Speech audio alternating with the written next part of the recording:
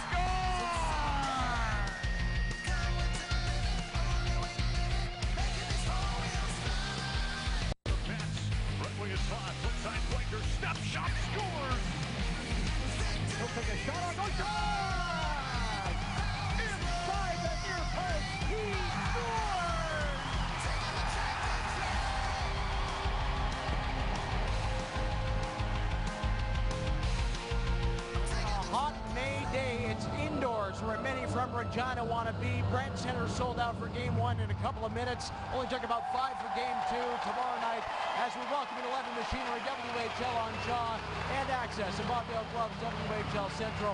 I'm Andy Neal. Happy Cinco de Mayo. It's no Quattro, but no matter what day it is, the Regina Pats are back in the WHL Championship Series for the first time since they wore Cooperall pants in 1984. Pats, remember, were the best team in the WHL in the regular season, they survived a big scare in the second round, battling back 3-1 down against the Swift Current Broncos to win it in seven games, and they almost win seven again against Lethbridge in the Eastern Conference Championship, winning three straight games to win the conference title in six and advance to the Ed Chynoweth Cup Championship Series. Meanwhile, for the Seattle Thunderbirds, second year in a row as the Western Conference champs, and they roared out the gates in the playoffs, uh, winning their first eight games, sweeping Tri-City and Everett, and they needed six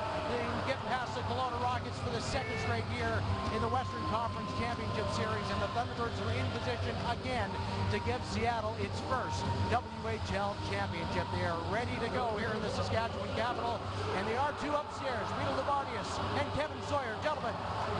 Andy, thank you so much. This is what it's all about, my friend. And here in Regina, they haven't experienced it in 33 years. But one reason you have an opportunity to dance at this time of the season is with premier players. And he was named the Player of the Year, Sam Steel. Well, what a season he had. 50 goal scorer, led all players with 131 points, and he leads his team in the playoffs with eight goals and 24 points. And this is a guy that can be dangerous all over the ice, and he does what all good goal scorers do. That's get to the middle, and look what he does there. He's not afraid to play in traffic, and perhaps the only thing that overshadows Sam Steel's skill is his desire to win. He's a true leader. He's not the most vocal guy, but he leads by example. It's a kid that's willing to pay the price to win. You also don't make it to round four without some great playoff performances, i.e. Austin Wagner, the fourth round pick of the Los Angeles Kings, is fast and 14 times he has turned on the red light. Leads his team, and he's second in the Western League in the postseason in goals. But look at how he goes from 0 to 60. His change of speed makes him so hard to defend. But speed is what we talk about with Wagner. Look at him pour on the nitrous oxide. He wins foot races all over the ice, and to me, that's what separates him. Is he creates time and space for himself, and he's got a nice skill set to back that up. Look at the foot race he wins there against Brendan Bonnell. He's a guy that can skate himself, but again, 30 goals in the regular season and 14 in the postseason, a real big piece of the puzzle here in Regina. While it's somewhat foreign for the home side as they've just made their way on the ice, you can tell it's not the case for the Western Conference champions from Seattle. They were in the league championship series one year ago, lost in a difficult five-game series to the Brandon Wheat Kings. They're led by the young man who I think is the most dynamic player, not only in this league, but maybe in the entire country, Mathew Barzal. I would agree with you, and all you have to do is watch him in a couple of shifts, and you would agree too at home. And this is a guy that is a puck possession guy, and he doesn't need much time and space to make things happen, but when he gets it, well, he is lethal, and maybe nobody better at creating separation. Look at him here. One little move, and he buys himself 20 feet of space in 41 games in the regular season, 10 goals, 79 points. That's just under two points a game. He finds seams. He's such a passer. Look at him break the D-man's ankles there with his skill with the puck on stick. He's lights out good. On Wednesday, Ethan Bear from nearby Ochapowace was named the defenseman of the year. We wondered if he'd be able to play. He suffered a hand injury in game three versus Kelowna, but he's back. He's back, and what a huge addition. He had 28 goals and 70 points in the regular season. That was second among all teammen. He's scoring at about one and a half points per game in 11 games. He's got 16 points, but how about his shot? He's got an absolute bazooka. But it's not just his offense. He has worked on his 200-foot game. How about that? Taking care of his own end. It's things like that that got him the Team End of the Year award. Knows when to step up to create offense, and boy, oh boy, are they happy to have him back. 6,484 strong. They are ready. The teams are ready. Seattle looking for its first ever championship. Regina's last title came in the year 1980. It promises to be a gem, and we're delighted to have an opportunity on Shaw Access, and for those of you in the United States watching on this TV. The national anthems are on their way next. Two-time Western Canadian Music Award winner and also Juno Award-winning recording artist Jack Semple in the singing of the American and Canadian national anthems.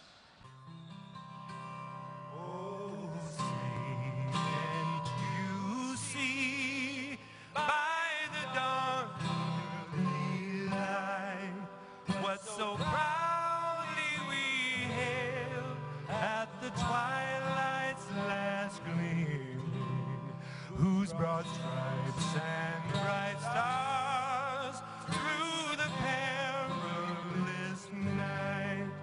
O'er the ramparts we watched were so gallantly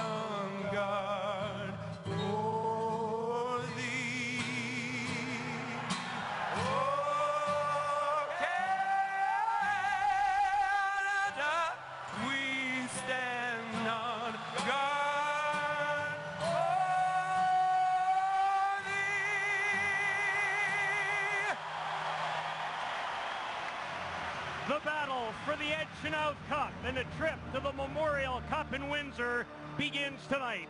John Paddock, the architect, longtime hockey man, coach, and general manager, guiding the Pats to a team record 52 wins, 112 points, and playoff wins over Lethbridge, Swift Current, and Calgary the starting goaltenders.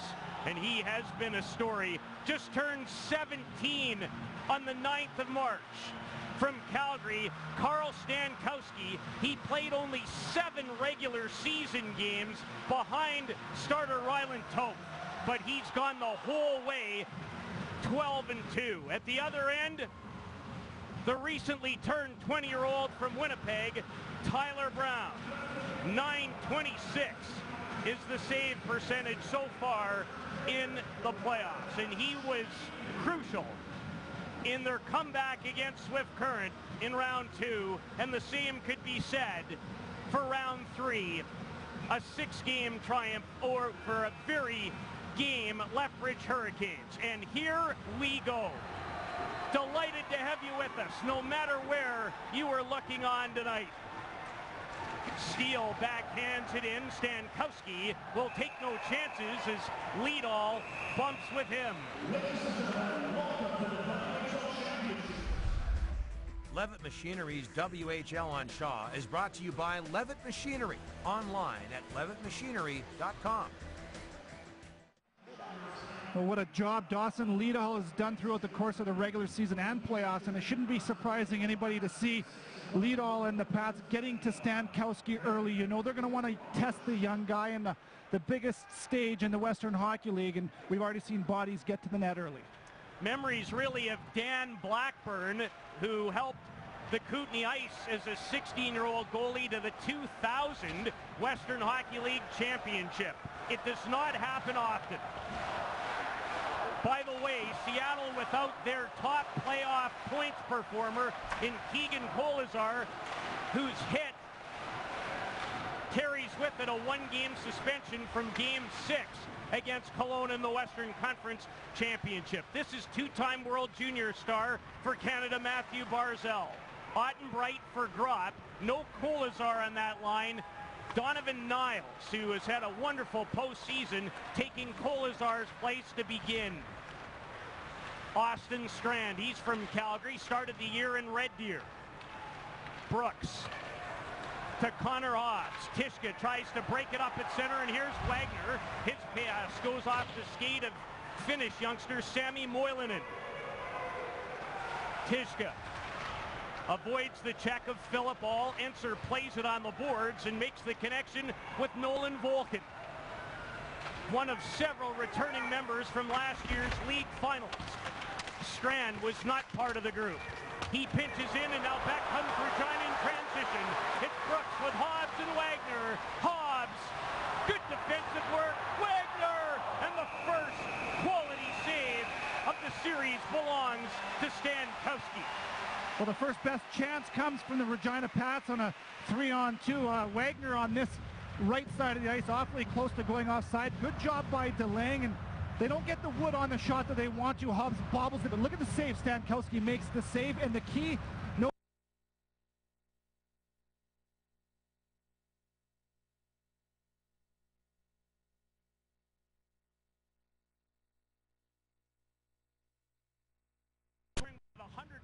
points, had eight points in the last three wins versus Lethbridge. A block shot by Matthew Wedman. Wedman for Adams, the Regina product, nearly scores the series opening goal. Tyler Adams, a quality chance, and didn't miss by much. Scholler puts it out, and Ottenbreit handles in his own zone the number one defensive pair for Seattle, Bear and Ottenbreit. Cleared in, shoulder to handle. Paired with 17-year-old Jonathan Smart as Bishop playing up front. Spent a lot of time on defense, throws a good hit. Number three for the Thunderbirds. Seattle doing a little bit of line shuffling. Nothing that they're strangers to as they've had a lot of adversity injury-wise throughout the course of the season. That Konowalchuk doing a real good job shuffling his, lines to come up with good combinations. Nick Henry, who scored a big goal in game six versus Lethbridge to steal. Tyszka felt that. Steel trying to direct it in front. Off of Niles it goes, and now Niles bumps into Steel, stays with it. Henry, a quality chance, and he shoveled the one-timer wide. Oh, this building is buzzing. Steel, backhand try for the 21-year-old Leedahl, and Hamiluk sends Eansor away, one of the two co-captains, along with Barzal. Zabrowski off the boards and out it goes. And it's Strand to Barzal. Has points in 16 straight games going back to the end of the regular season. Totaling for 32. He is on fire. Here he comes off Zabrowski, the Rangers third rounder, and to an open wing. Niles and Gropp with Barzal. Strand a wrist shot, and Tyler Brown hangs on to that. Well, these teams going back and forth, chance for chance. You can feel the emotions in the building early, but a great job down low. Look at Sam Steel right there, backhand pass, and he's got some wood on that, right on the button. Ahl isn't able to get that shot onto the net cleanly, but a real nice play down low by Steel. And look at how these two teams match up. For me, the story, specialty teams, look how lethal that power play for Seattle has been. 19 for 53. They're just under 36%. That will be a key and an important cog in the wheel to beat an excellent Kelowna team. They operated at 33% in the Western Conference Championship final. Their penalty kill wasn't too bad either here in the postseason. Their penalty kills just over 81%. Ryan Gropp, another New York Ranger hopeful, signed by the Rangers. In fact, the second round pick in 2015. Niles, Gropp bumped along the boards is it's Brooks right now against Barzal's line. We'll keep an eye on that matchup as the series goes on. Strand with Reece Harsch. Strand plays it for Niles. Tapped away from him, and Brooks sends it to Wagner, who shoots it in, and Stankowski juggles it. Between the benches, we know who to find. Double D or the Moose, Darren DuPont. All right, thanks, Pete. Well, Ethan Bear, you mentioned him off the top. We've seen him already in this first period. It was a question mark whether or not he'd be able to play in this series after missing the final three games of the Western Conference Championship. He took those pregame skates, wasn't able to play, but he was a full participant Thursday. Looked pretty good in their practice here in Regina. He was a full participant in their game day skate this morning. He took the first uh, shift of the hockey game with Reece Harsch, but promptly right back with Turner Ottenbreit for the second, so we'll monitor how much he plays tonight. Connor Hobbs, a backhander from the defenseman, a fifth-round pick of the Washington Capitals, who led all Western Hockey League Blue Liners in scoring during the regular season with 85 points and has 19 more through three rounds of the playoffs. Hobbs had three points in round three against Lethbridge. All of them came in game four, a goal and two assists. He went five games pointless. They'll look for him to be a little bit more consistent showing up on the score sheet. Eansor in a battle with Sloboshan. Sloboshan's wrist shot, that tests. Stankowski, who only goes about 5'9", in this day and age, small for a goalie. But they talk about his great hockey IQ and his athleticism and poise. You can't do what he's done this spring without all of that. Answer. Hits the line, finds Volcan, a wrist shot, and Brown, bit of a quick whistle. We talk about how important goaltending is and what a job this Carl Stankowski has done, the 16-year-old. played in Anaheim last year for the Junior Ducks, and he's a guy that played in only seven regular season games. He's only lost once, including playoffs in regulation time. You look at the stats here, round one in their sweep to Tri-Cities, great numbers, 9-2-2. They dipped against Everett. You look at his save percentage at 8-8-8, and that were in times where he wasn't necessarily fantastic. His team was, and there's other times, for example, game three in Kelowna last series where he stole a game for his team. So he's been there. The relationship between him and the players looking out for each other has been excellent. Made 34 saves in that triumph in game three. Wedman puts on the brakes, centers it in front, loose in the crease before Brown dives on it. We talk about how the lines have been juggled and Konowalchuk has had to be creative. This line with Wedman and Tyler Adams has had two great quality opportunities. One came off of a rush in their first shift of the game and another one in tight paying the price. And Tyler Adams, the hometown kid from Regina, had a shot on that earlier, almost capitalized on another. Came over in a deal from Swift Current in October that sent Mackenzie White in the other direction. And Russ Farwell had a lot of good things to say about Adams today.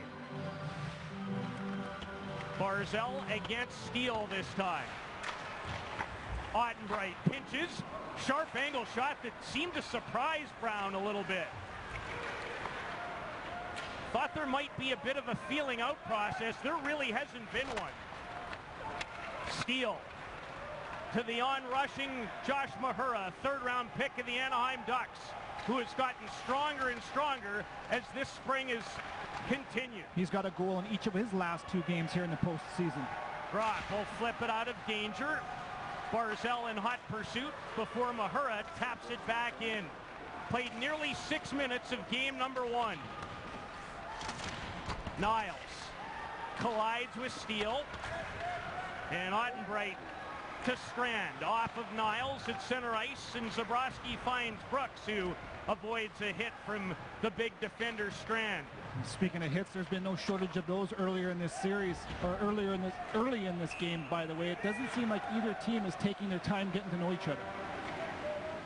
Well, many of us expect and we never really know. A long series. Steve Konowalchuk has his team back in the league championship affair for a second straight year. And we talked to Steve earlier today about his line matchups and what he anticipates Regina will throw at that top line of Gropp, Kolesar, and Bar. Barzal, obviously, Kolesar's out tonight, and he didn't really seem to care too much, did he? He just figures out we've got depth. We've used our depth throughout the course of the season. We're going to put our guys out and stick to what we do and pay less attention to what they're going to do. Volcan shovels it in on the ice with the impressive rookie from Finland, Moilanen, and Eansor. Brooks tracks it down, a rolling puck. Now he'll backhand it into the corner where Tyszka takes over. His name could very likely be called in the upcoming NHL draft in Chicago. Good skater, and the puck was rolling on him as he sent it on target.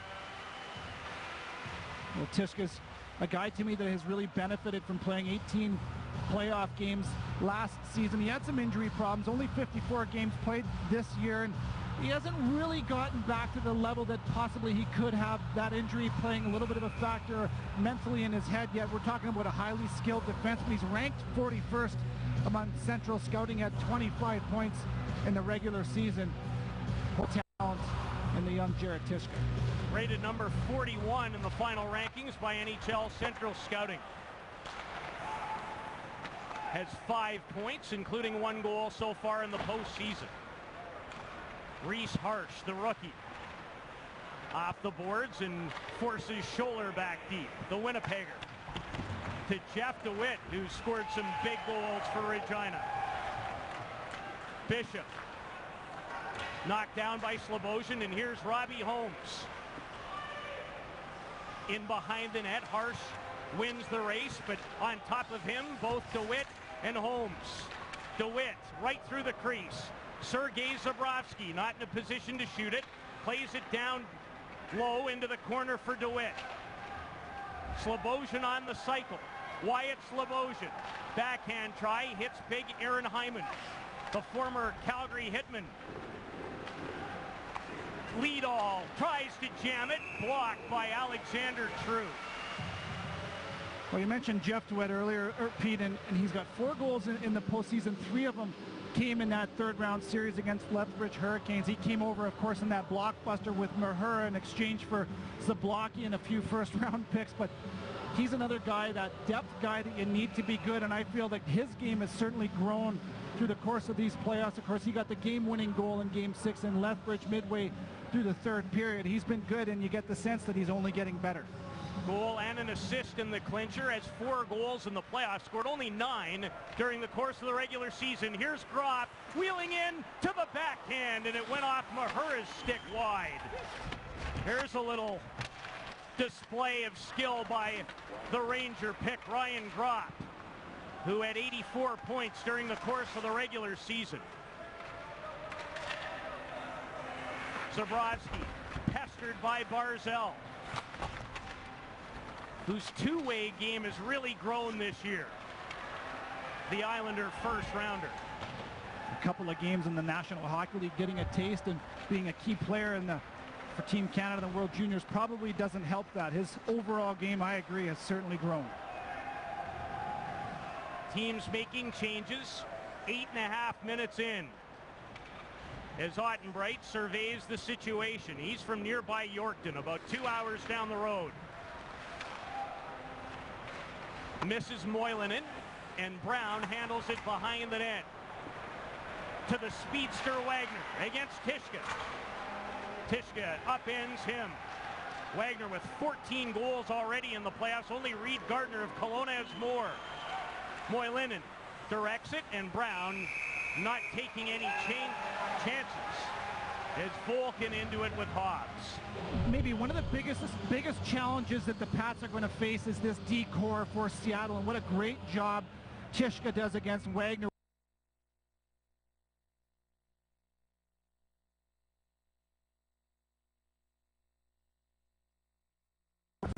pops the puck, has good body position, and negates any further offensive chance from the speedster.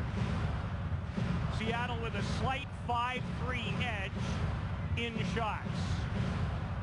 Eansor back out with Volcan and Moilanen from Sipoo in Finland. Helped the Finns to the World Under 18 gold medal in 2016 in Grand Forks. Volcan off his stick, to DeWitt takes a solid jolt from Adams before Volcan clears it in. Connor Hobbs, an outlet, finds DeWitt. And Ottenbreit took a run at him but missed. DeWitt stays with it. Pat's changing on the go. As Adams shovels it out to center, only to have Jonathan Smart, who started the year in Kelowna, to send it behind the net. How about the physical game from the Thunderbirds? Haven't turned down an opportunity to finish a check yet that I've seen. Wagner with a little space to Filip Ahl. Ahl in Brooks. Back to Ahl. He shot it wide. Excellent chance for the Ottawa pick. Now Wedman at the other end. Blocked by Scholler. Wedman from a sharp angle deflects wide. Niles off the bench. Wanted Barzal, and Ahl knocks it out of midair. To Brooks and now Wagner again. Chips and chases to himself. Nobody does it better than him in that department. Barzal backhands it to an open wing. And Zabrowski rims it behind the net. Barzal takes over. He had 69 assists and only played 41 games. Tied up by Leedahl. Look at this battle. Leedahl wins it. Off a stick and out of play.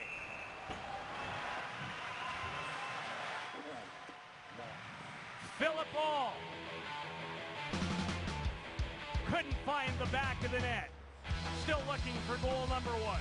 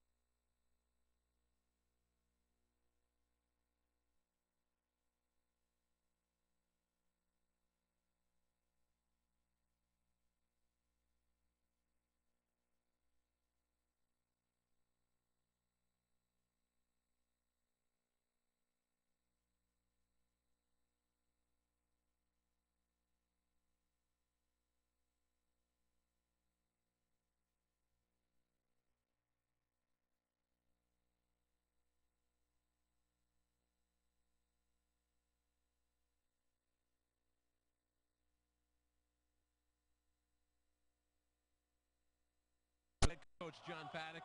And John, when you're playing a team in the Western Conference like Seattle, who you only see once a year, how much of a feeling out process do you expect in this series? Uh, I don't think there's a lot. I think teams know about each other teams, how they play. I don't think it's really a feeling out uh, today. I think it's pretty quick pace. After the sweep of Calgary, you've lost the, the most re recent two game ones. You played well in those games, but how important to get off to a good start in this series? Well, it's important, absolutely, uh, to uh, to get off to a good start. But I think that you know the opposition has a say in it, and we, we think we can have played better in those games. But the opposition has a say, and they're, they're good teams we played. John, thank you. Thank you. Pete. You talk about getting off to good starts. How about good finishes? This wasn't a great start for the Pats. Down 3 nothing early in game six against Lethbridge. They claw their way back in, and it's 5-4 at this time when Connor Hobbs pops the net off the moorings, and that gives Tyler Wong two back-to-back penalty shots. Isn't able to convert. Regina adds an empty netter for a 7-4 Game 6 Eastern Conference Championship win. Another sellout here at the Brandt Centre. Hockey in May in Regina for the first time since 1984. And people in this town really don't want to be reminded about how that series went. All versus Strand of Volcan, the Edmonton product. Moilanen with Tyszka. Moilanen waits and Brown shut him down. What a fantastic job by Brown here. As he shows composure, Moilanen is looking to to pass this puck. He's representing pass for me, but a good job by Hobbs taking the pass. Look at that long stick in the passing lane, and then Brown just commits to the shot when he knows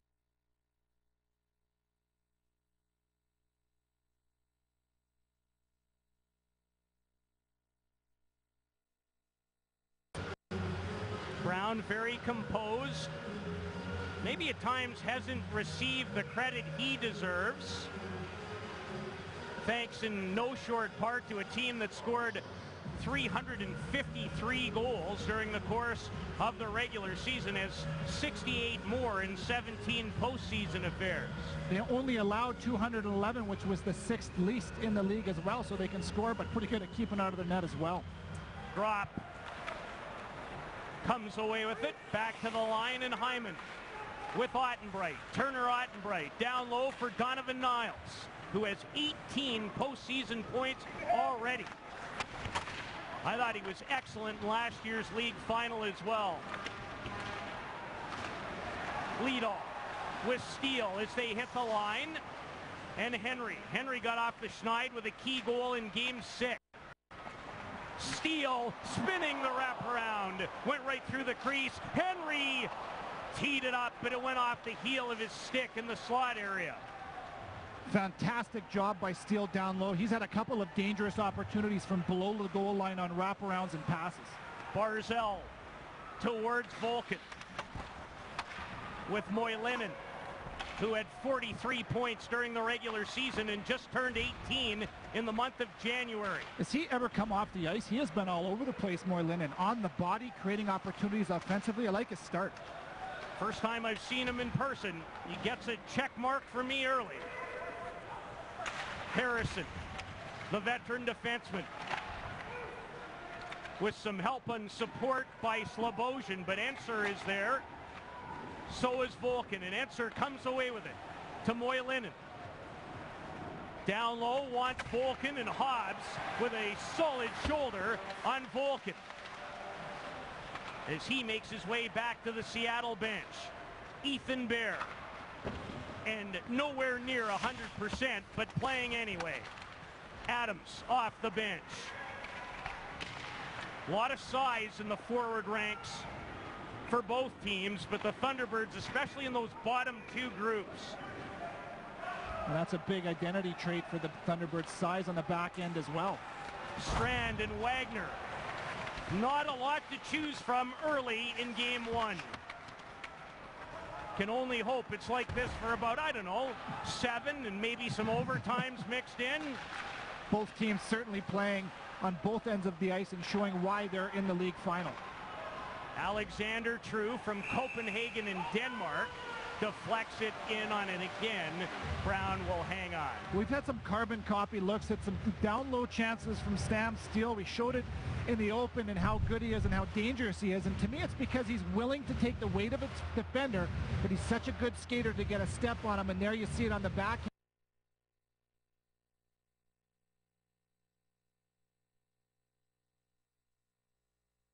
To the net with intention. Steel with five points in round three versus Lethbridge. Had 10 in the opening round, a four-game sweep of Calgary. His five points came in games three or four, five, and six.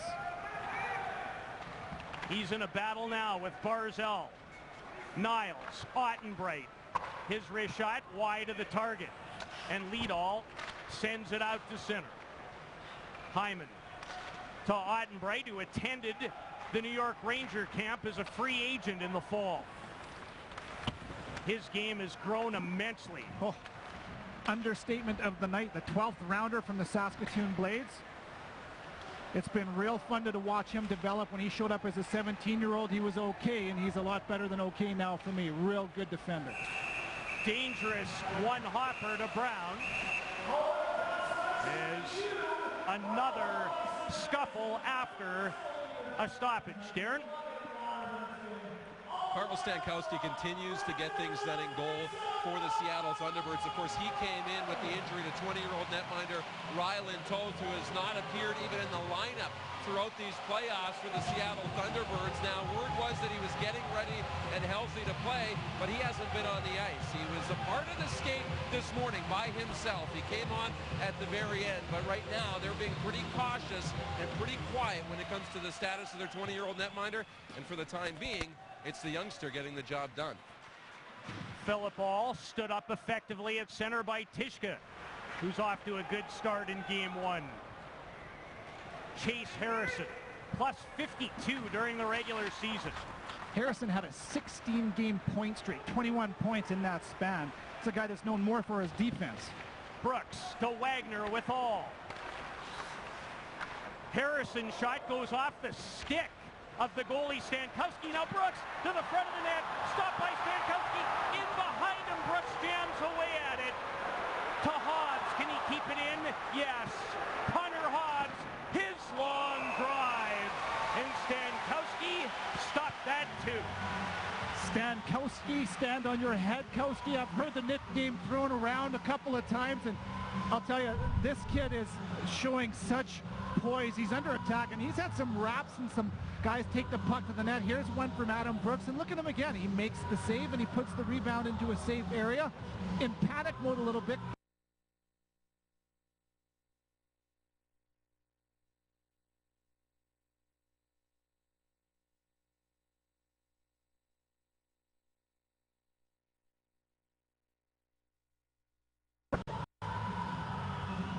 Adam Brooks, 250 points in the last two seasons. The captain of the Pats nearly strikes first. 250 points in 138 games. Unbelievable. He's from Winnipeg, a fourth round pick of the Toronto Maple Leafs. Wyatt Sloboshan. His line out there against True, Wedman, and Adams. Ottenbreit to Matt Wedman off the stick of Scholler. Smart chops at it. He hit Wedman with it. On the puck is Adams. To Harsch. His shot hit a body. Karam's to an open wing and cleared out. Barzal turns back. Loves to have it on his stick. Nobody any better with it. Barzal cruises in. Puts on the brakes to Strand. Wrist shot. Hit a leg in front. Looked like it was Scholler. Zborovskiy to the line, not out, held in. Neuls wants Barzal loose in front of the net. Leedahl there to clear it out of harm's way and did so with plenty of poise. Leedahl has been a huge pickup from Everett. Came over in the offseason. 35 goals during the regular campaign, 11 more in the playoffs. So he had 48 games last year with Everett, 12 goals. the shackles are off, you could say, coming to Regina, and he really gets a chance to show what he is all about offensively. Starring for Regina, a kid from Saskatoon. Brooks held up effectively by Volcan, And here comes Strand in transition. Good pass to Eansor. Scott Eansor waiting. Toe rebound. Goes off Roy Lennon and just went wide of the open side. Great chance for the visitors. What patience on that release. He looks like a natural goal scorer outweighing Hobbs defensively. Brooks reverses in his own zone to Ahl. For Hobbs, has Wagner. Wagner with Brooks. Brooks, Rod, rebound. Oh my goodness! How does Stankowski keep that out?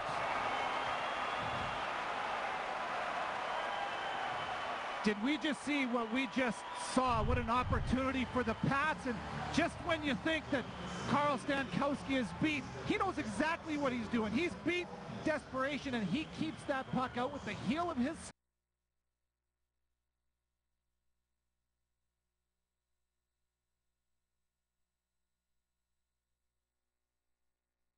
check his birth certificate. Turn 17 on March the 9th.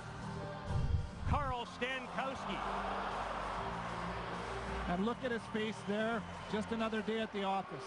He's got the makeup to be a darn good goaltender. You got to be calm and you have to have good emotional control. But wow. In a time where you could understand a 16-year-old to be a little bit nervous or shaky, he's showing no signs of that here. Brilliant. A brilliant save. You think that builds confidence for your players playing in front of you? I would suggest. Just a tad. Sloboshan a face-off win. Smart shovels it down low. Hyman and Sloboshan. And it's Wedman. Misses Ottenbreit. Smart racing to it. One thing about Ottenbreit, he'll smack everything in sight. Should have seen his dad play for the Yorkton Terriers. Grant. He was a lot of fun to play against. Rather pluck my eyes with an eye with an axe. DeWitt, Ottenbreit, and then Adams comes over. Yeah, this one probably won't be for the faint of heart, and nor should it should it be with a league title on the line. Strand to Hyman, the six foot five defenseman from Calgary. Leedahl back to it first. Pressured, stripped by Barzal. In behind Neuls, Harsch, Strand off the body of Henry wide. Back to Reece Harsch. Austin Strand. Harsch, play catch. Now it's Barzal, feathers it, Harsch. His shot wide of the target. Good pressure by the Thunderbirds. Neuls. Harsch again walks the line. Strand wants a shooting lane. Can he find one? Not really. Barzal puts on the brakes. Steel watching him closely. And then he spins himself down. Could Steel get away? Steel. Backhander. Stankowski stopped that too. And our first penalty.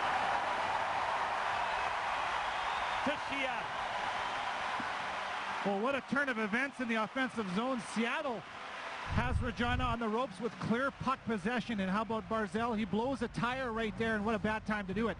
Steals on the defensive side. He's got a partial breakaway and a real nice job by Harsch. Does he get the puck first? Very, very close.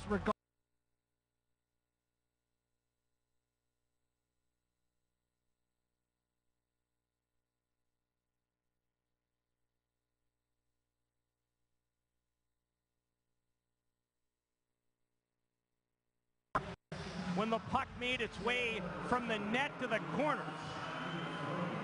So the first power play of this set belongs to the Pats. They've operated in the playoffs at 25.4%. Seattle has killed off penalties at 81.4. And keep in mind, Regina only three power play goals and 18 opportunities in round three against the Hurricanes. That's an area for sure they're going to want to get to be more effective. Wagner steams in on right wing. Back to the line for Mahura. Josh Mahura forced back by Bear. Wagner, pressure. Seattle really aggressive in this area. Harrison can't keep it in at the line. And Seattle's content to leave it there. And 20 minutes of the Western Hockey League Championship Series presented by Rogers is in the books.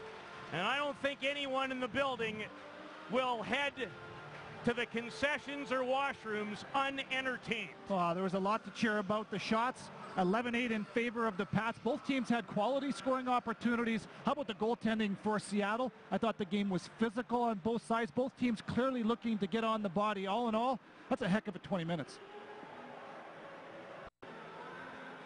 Game number two set for this building tomorrow night, 7 Mountain, 6 Pacific time, and we'll have it for you again, as we will the entire series. Darren DuPont is with Sam Steel. Yeah, thanks, Pete. Sam, how good does it feel to finally get this Western League Championship underway? Oh, it's great. Uh, you know, we worked a long time to get to this point, but uh, like we've said, we're not done yet. How much, Pete was talking about it, that it didn't seem like there was much of a feeling out process on the ice in that opening period. Was there much of one for you guys? Uh, I think there's always going to be a little one because, you know, we don't play these guys a lot. But I thought we settled in real quick and played great. How much do you enjoy the chance to play against other teams' top players, in particular Mathew Barzal in this series? Yeah, it's great. You always want to play against the best, and he's uh, definitely one of the best players in the league, so it's a good challenge. It's the first time since 1984 the Regina Pats are in the WHL Championship Series. Are you guys sensing that this is history in the making in this community? Yeah, definitely. Like you said, it's been a, a long time coming, so we're uh, you know happy be, to be the group that uh, you know goes this far. But like I was, like I said, uh, we're not done yet. You've seen in the opening 20 minutes some of the heroics that their 16-year-old goaltender has had in these playoffs to get him to this point. How do you find a way to beat him in this series? Just keep doing the same things. Uh, he's obviously playing great hockey right now, so we got to chip away and uh, try to get a few. Sam, appreciate this. Good luck in the series. Thank you. Sam Steel of the Regina Pats, scoreless in the opening game one here after 20 minutes. Andy Neal, Jeff Rogers, and Joey Kenworth on the other side. The WHL Championship Series continues.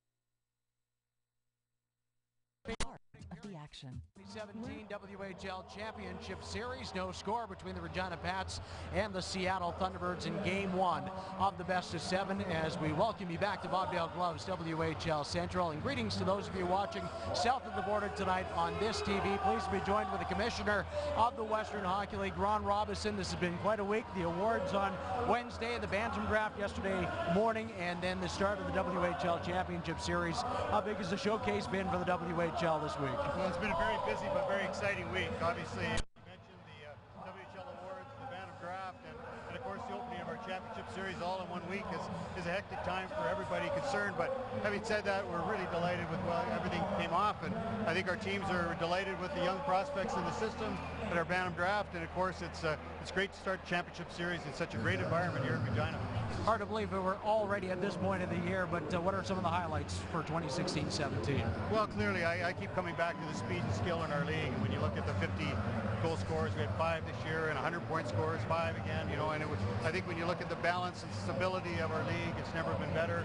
Uh, but the quality of play, uh, to me, is a highlight. The prospects that continue to come through the system are terrific players, and uh, and you just have to witness the playoffs and how competitive it's been. The balance is there, and we're, we're delighted with the product overall. Two young men who are up for the uh, Four Broncos Memorial Trophy playing in this series, Sam Steel and Matt Barzal. And we got a sense of what Carl Stankowski has done in his first year in the WHL. And you're mentioning the young players in this league. Kirby Dach in Saskatoon, we got a chance to see him, and he's looking like he's going to be something else. Dylan Cozens in the last round for Lethbridge. These young players, uh, how much better is the game today with them and how they're going to carry it? Well, it's amazing, and it's a credit to the minor hockey system, uh, especially in Western Canada, and, and the, the, job that the coaches do and the minor hockey program is preparing them for our level because these young players come in and step in and do a great job, and it's uh, exciting to see the prospects around the league. And uh, the draft is another indication of the great prospects coming up. But you're right, they, have been able to step in and make that adjustment at a young age, and it really is remarkable. And as far as this series is concerned, everybody knows Mathew Barzal, what a great role he played at the World Junior Championship for Canada. And, and Sam Steel has had just an incredible year, of course, our player of the year. Adam Brooks, of course, added to that package, and these two teams are uh, are going to put on a great display over this series. Teams that I talked to at the Bantam draft yesterday morning after the first round, they said they had players that were really happy to be chosen in the WHL. A lot of times on social media as well. Best day of my life, uh, such an honor. The commitments from these kids to the WHL is that uh, something that's good uh, right now that you're seeing more and more every year in the draft? Well, I think young players want to play at the highest level in the system. They want to compete against their own age group. They want to get on with their development right away, and that's what we're seeing. Uh, players are really looking forward to the opportunity to come into the Western Hockey League. Uh, we feel that the Bantam Draft gives them an opportunity to give that year, an extra year of development, prepare for entry to the league in the following season, and, and that's important. And yeah, the response has been great. Our teams are indicating that uh, we really haven't had anybody indicate that they're not coming. Uh, they're all very uh, interested in being part of this league, and, and that's a great thing.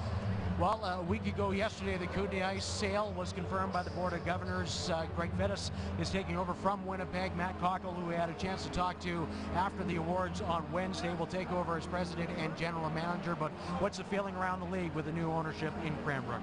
Well, I guess twofold. One, uh, sad to see the Chynoweth family uh, no longer directly involved. They made such an amazing contribution to this league for so many years, uh, 45 years to be in this direct association. We can't thank the family enough for their contributions and bringing the franchise to Kootenay to begin with. And now with new ownership, it's a fresh start, and uh, I think we're really excited to see what the response is going to be from the community, but they're, they're people who are very committed to this league, and uh, Matt Cockell is moving his family into the Cranbrook community and, and is going to be rolling up the sleeves and getting to work real soon, and already they've introduced a new brand. Of course, they participated in the draft, and, and they're very excited to get started what's going to be the biggest thing for them to be able to get that franchise to where it needs to be to be a, a strong one in the WHL? Well, it really just comes down to one thing, and that's community support and, and making sure that uh, fans are in attendance. Uh, we need the attendance to get to levels that are going to be acceptable to make that franchise viable. And, you know, we've got great hockey fans in that area. We know that, and we just need them to come out in larger numbers to support the team. What does the background of Greg Fettes and Matt Cockell bring to that organization as running the show there? Well, first of all, Greg Fettes, the principal investor involved, is uh, very committed to uh, the Western Hockey League. Uh, he's been a fan of this league for many years and has been very anxious to become part of it, and this is his opportunity. And to bring along Matt Cockell, who's a very accomplished hockey executive, of course, working in the marketing department for many years with the Winnipeg Jets, and, and also an alumni, alumni of ours, of course, a goaltender who played in our league, has experienced it firsthand, and Matt's very passionate about the league as well, and I think it'll be a great combination. Uh, we got somebody on the ground with both business and hockey expertise at Matt's level, and uh, we think they're a real good asset to our league. in March, uh, Nanaimo, there was so much talk about the ice moving to Nanaimo, and then there was the vote that was soundly turned down by residents of Nanaimo. How disappointing was that? And does this, now with the ownership change, does that take Nanaimo out of it for now, or what's the feeling there?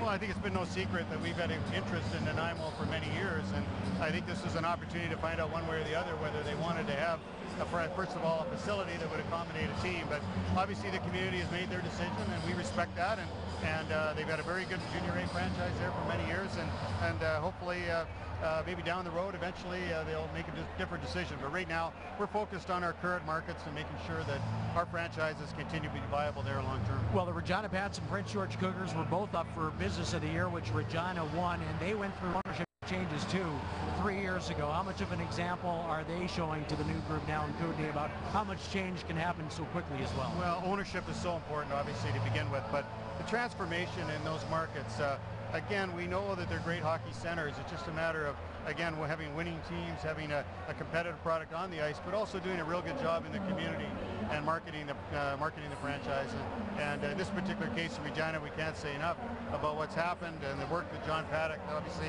Dave Struch, and the entire hockey organization has done. But at the end of the day, this is really engaging the community and supporting the team, and we see that coming back in, in uh, very very encouraging ways in Prince George and, and of course in Regina the support has never been as high as it is now.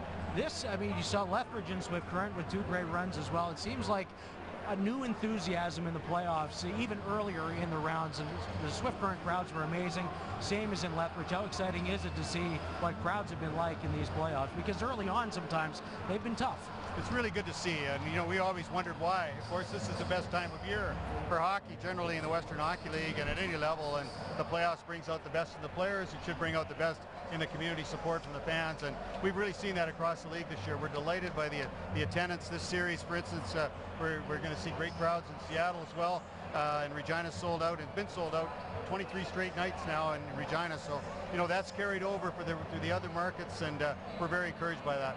Uh, so I'd be remiss if I didn't mention class action uh, lawsuit by uh, former and current players. Uh, OHL, it uh, got certification in Ontario. What about from the Western Hockey League and where that's at? Where are the biggest concerns for the league in regards to the players' suit? Well, we're at a stage where we're waiting for a decision by the Alberta court. Uh, the Ontario court, as you mentioned, has been certified.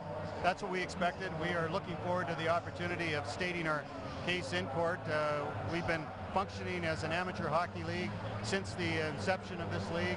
Uh, we believe our players are amateur hockey players and uh, and uh, they get tremendous treatment. That's the most important thing. Our ownership is committed uh, over the years to improving the player experience, providing tremendous benefits for the players and including a guaranteed scholarship program, which I know the parents and the players really value. And that this is really not coming from our parents and, and players themselves. This is coming from outside sources, and, and we're hopeful that we can get through this and uh, and continue to offer the same uh, program that we currently offer for the players. Don Cherry recently came out uh, in support of the leagues uh, in regards to this, but provincial clarification too. BC has gone ahead with uh, exempting the BC clubs uh, from this. Uh, some U.S. states, Washington, Oregon. what about the provincial clarification and the help from the governments and being able to well, help your side? That's the key, Andy. There's no question. We need the provincial governments to step up province of Saskatchewan was the first to do that in 2014, followed by Washington State, province of British Columbia. We're very fortunate. We expect we'll have a decision in Oregon and Manitoba very soon, and now we just have Alberta to deal with, and we're we're working on that. Obviously, uh, it's a major concern to us, but but we think at the end of the day, uh, we want to preserve not only the Western Hockey League, but more importantly, all of amateur hockey and all of amateur sport would be affected, and it would be uh, devastating to all of those levels to have anything impact to that extent. Is this as much uh, in the court of public opinion? Is that also a battle that you're dealing with uh, when it comes to what people outside and uh, the public are thinking in regards to this? I think generally most people don't understand it at all. They don't understand why there's even a challenge in this area, that the complaints aren't coming from our players or our parents. It's coming from other sources, and, and it's very disappointing, to be honest with you, but I don't want to take away from this great series and the, and the great league we have. Our ownership is very committed to keeping things uh, moving forward, but again, it's more of the repercussions for all of amateur hockey and amateur sport because it won't just be us affected. If it's uh, if it goes the other way, it'll be all of these uh, organizations. Well, and what did it mean to have Don Cherry speak the way he did a couple of nights ago? Well, Don's such a great supporter of the Canadian Hockey League, and, and of course, uh, having direct involvement with our prospects games for years, is very well aware of it. And I think he, he reflects a lot of the frustration that's out there right now that we are even having to go through this. So at the end of the day, let's hope that uh, we'll be on the successful side of that decision.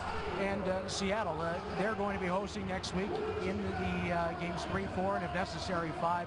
What's uh, been the take of the U.S. big market in getting ready for the championship this Our time? U.S. division is just a terrific division. When you look at it overall, the teams are very competitive and, and they have great rivalries there. And interest in the, uh, the market in Seattle and since the move to Kent has been terrific. Tuesday nights is actually the biggest night of the week, and, and that'll be the opening, the third game of the series, and it'll be full that night for sure. And it will be certainly we expect it to be full for the balance of the season or the balance of the series as well. So we're really excited about this. These are two teams that can put up a lot of offense. They're very exciting to watch, and even though the first period I think was a bit of a feeling out process, quite frankly, I think you're going to see some real freewheeling over the course of the series. Ron, this is my sixth year, and uh, it's been a real pleasure being able to chat with you uh, throughout all the candid talks. Uh, really appreciate all the times that you've been on the show. Thanks again tonight. Thanks, Andy. I'd just like to say uh, before we leave that uh, we would like to extend our appreciation to Shaw Communications, uh, but in particular to the staff who have been with us alongside 13 seasons broadcasting Western Hockey League regular season games and, and playoff games. You've really taken us to a level that we really appreciate, and uh, and especially to Grant Wilkins, Dave Roberts, and the entire crew, and Andy yourself. Uh, you've done a tremendous job. It's always been very professional, and uh, we've enjoyed it very much. Well, we hope it's not the last. Uh, we hope there's another platform we can do this on. Thanks again, Ron. Thanks, Andy. Ron Robinson, Commissioner of the Western Hockey League. Second period on the way from Regina here on Levitt Machinery WHL on Shaw and access to this TV in the U.S.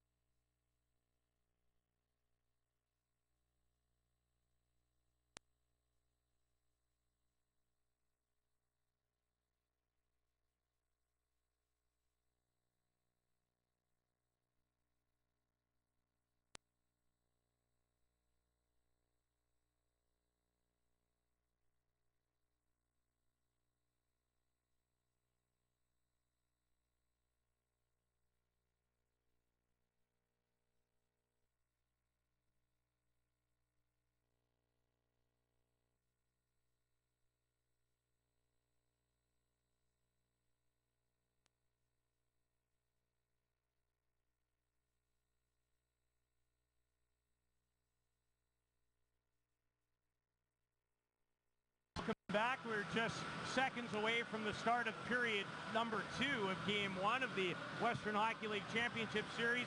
Intriguing, entertaining, heavy. You could use a lot of adjectives. Oh, you sure can. There was so much to to be entertained by, but I, I thought early in the game that Regina did a really nice job getting the puck deep and making Seattle's defense turn. It was clear to me that they wanted to put the puck and the game on the wall down low. That was led by Steel and Leedahl taking hits to make a play. And how about that play to Henry on the back door? And there's Leedahl again. Separate the man from the puck, and now you've got puck possession, and now you can create. And I thought again that Regina did a really good job initiating that in that first period, and, and because of that, they created a lot of stuff off of the wall. And I'll tell you, that Seattle defense isn't a defense that's easy to play against. Look at Tyszka here with good gap. That's Austin Wagner right there that he totally neutralized and took his speed away from him. But coming back the other way, Regina showed why they're one of the why they were the biggest scoring team in the league and Harsch with the stick to tip it away and there's another one in desperation on that partial breakaway Stankowski man oh man was he excellent when he needed to be he made saves he made desperation saves he controlled his rebounds and what a great first 20 we'll look forward to another coming up Second underway. Stankowski with 11 saves, none better than the one off Wagner. Tyler Brown made eight at the other end. Steel turns it over. Eansor with an early opportunity. Nearly ran out of room. And then Brooks picks his pocket. Good opportunity for the product of Englewood, Colorado. Volcan off Leedahl and out of play. Levitt Machinery's WHL on Shaw has been brought to you by Levitt Machinery. Online at levittmachinery.com. Well, a pretty good start to that second period. Scott Eansor was looking to find his sixth goal of the postseason. He had 18 and 40 games in the regular season. This is a guy that competes, and he's elevated his game. The co-captain of the Seattle Thunderbirds comes up with a great chance early in the second. Member of the 2016 United States World Junior Team. Brooks. Steel. Pats still with 20 seconds to go on a power play. Hobbs looking for space. His hard wrister missed on the far side. He relays it Steel. Thought about shooting it. Now he does. Brooks had to jump over his stick and out to neutral ice. Notice the four penalty killers from Seattle. The one thing that you won't see them do is get caught out of position. They'll be happy to stay in a tight box so long as they've got bodies in lanes. Thunderbirds kill off the series opening penalty, and now Regina ices it 116 into the second frame. One of the things you have to be very aware of when you're killing penalties, especially uh, against a team that has the offensive prowess like the Regina Pats, is you do not want to get caught chasing them because you can't match their skill or their speed when they're up a man, and they do a heck of a job killing penalties, Seattle does, by staying in lanes and letting pucks hit them and deflect wide. John Paddock, David Struch, the architects of this Regina program. And Steel out against Barzal. No Kolesar tonight, suspended for the first game. We'll see the big Columbus forward, as in Blue Jackets prospect, in game two tomorrow. Well, will, he be an addition in his presence? I mean, this is a guy that's 6'2", 225 pounds, and, and he plays like it. I think that he take, took huge steps from his experience last year, Kolesar did, throughout the playoffs. I thought he was okay. This year he's been exceptional, leading his team with 22 points, and he'll be a welcomed addition in game two. Steve Konowalchuk's team has battled so many injuries this season, basically spent the entire year at less than full strength. And they really got on a roll in the second half of the season. Barzal with Neuls up on that line tonight in place of Kolesar. Leedahl chips it in. He's upended by Hyman. Tyszka Leedahl stays right with him, and Tyszka finds Barzal behind the net. He had seven assists in last year's league final. Three straight multi-point games to end it. Hyman's wrist shot. Brown hangs on and will leave it for Mahura. Mahura to Wagner. Wagner around Strand. Wagner off the stick again of Harsch. Wagner stays with it. The LA fourth rounder. Deflects off the high glass. Strand knocks it down against Sloboshan. And sending Neuls away. Six goals in the playoffs. Finds Reece Harsch from Grande Prairie, Alberta. You talk about a good stick. He may have saved three goals against with his stick just so far in this game. Those little things that help you win. the big spanny D-men from Seattle. They've got range, everybody over six foot. Adams with a good move. And then looks like he may have taken a stick in the chin as he makes his way off. Here comes Filip Ahl. And Bear, you can't play anyone much better than Ethan Bear did. Turned over, Brooks a shot backhander. Goes high and wide as Moilanen unable to clear. And Strand should and does to Wedman, intercepted by DeWitt. Chase Harrison to Adam Brooks. Brooks with Robbie Holmes. Brooks is hurt. Holmes a shot, and Brooks is in all kinds of trouble. And it was Ottenbreit. Well, Ottenbreit had Brooks in the tracks. He's not moving. He's down, and, and it'll be interesting to see the replay of this. And to me, it looked like it may have been a little late. You can see Robbie Holmes and company from Regina in there not happy about it. Keep in mind, Brooks missed five games in round two when he got hurt against the Swift Current Broncos. There it is. Wow. He was unsuspecting. And we'll see it here. So Brooks has the puck. It's gone. Head down. Oh boy, that's borderline.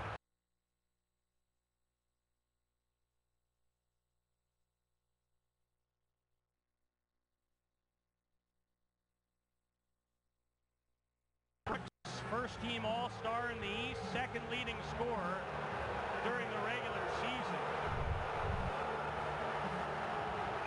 Well, the thing with the head is you can see that Ottenbreit had him lined up when Brooks had the puck on the stick and he had committed to the head. Brooks dishes it wide and to me it's, wow, he was unsuspecting. His head was down. They're going to take Ottenbreit here for sure. Just hope that the Regina captain is okay. As I mentioned earlier, he was hurt in game two against Swift Current, sat out games three and four, and was on the bench without taking a shift in games five, six, and seven. And boy, has he ever been a key part of their team since his return. He's up, but not looking overly stable.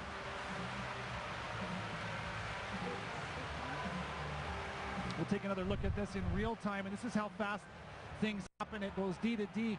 And look at Brooks come through the middle, dishes it, and right there you can see as he's passing the puck, Ottenbreit's committed to the hit. He's got him in the tracks, and I'll tell you, that was a heavy, heavy hit. John Paddock, the executive and general manager of the year, announced two days ago at the Western Hockey League Awards luncheon in Calgary. Referee Ingram over to explain the call, which we're waiting for. Right now they've got two minutes up per side.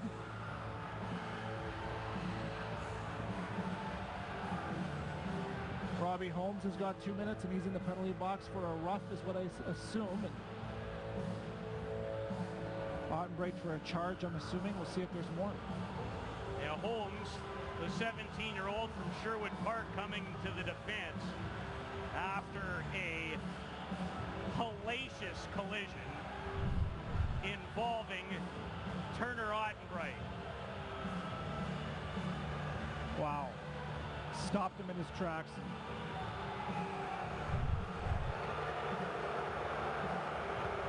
We're hearing the response from the crowd now as they're starting to learn that it's going to be even up. They wanted more.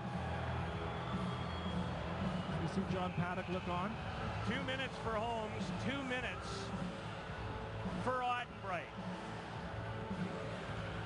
And even though we've taken a number of looks at it, Kevin, I almost wonder if the most damage that was done is when Brooks's head came down and hit the ice. Well, I'm sure that didn't feel good either, but he, when he took that hip check from Ottenbreit, it looked to me like Brooks came to an absolute blunt stop. Either way, neither feel good. Gropp with a chance, and Brown makes maybe his best save of the game off Ryan Gropp. Well, it was an innocent play here and a quick transition. Gropp had time and space. He wasn't necessarily expecting to see it as the puck caroms off the wall. There's the quick release from Gropp and Brown calmly makes the save and allows no rebound in 50 games in the regular season. He had 33 wins, 12, 2 and 3 here in 17 games in the postseason for Brown. Gropp, a 35 goal getter during the regular season, riding a four-game point playoff streak coming in. Gropp had points in 27 of his last 29 games in the regular season, totaling for 51 points. His second half was lights out. True and Hobbs, and Hobbs delivers a blow to the big Danish forward. He was the captain of Denmark at this year's World Junior. Moilanen hopes to be there in Buffalo. And he's tugged down, and now the Pats will be shorthanded for the first time in the game. Well, what what great effort here by Moilanen from Finland is he's outsized here probably by about 30 pounds and 4 inches against Connor Hobbs. And you can see Hobbs throwing his weight around, but Moilanen on the body. And Hobbs ends up taking the holding penalty. What great strength. And you can see the emotions, and he's a passionate guy.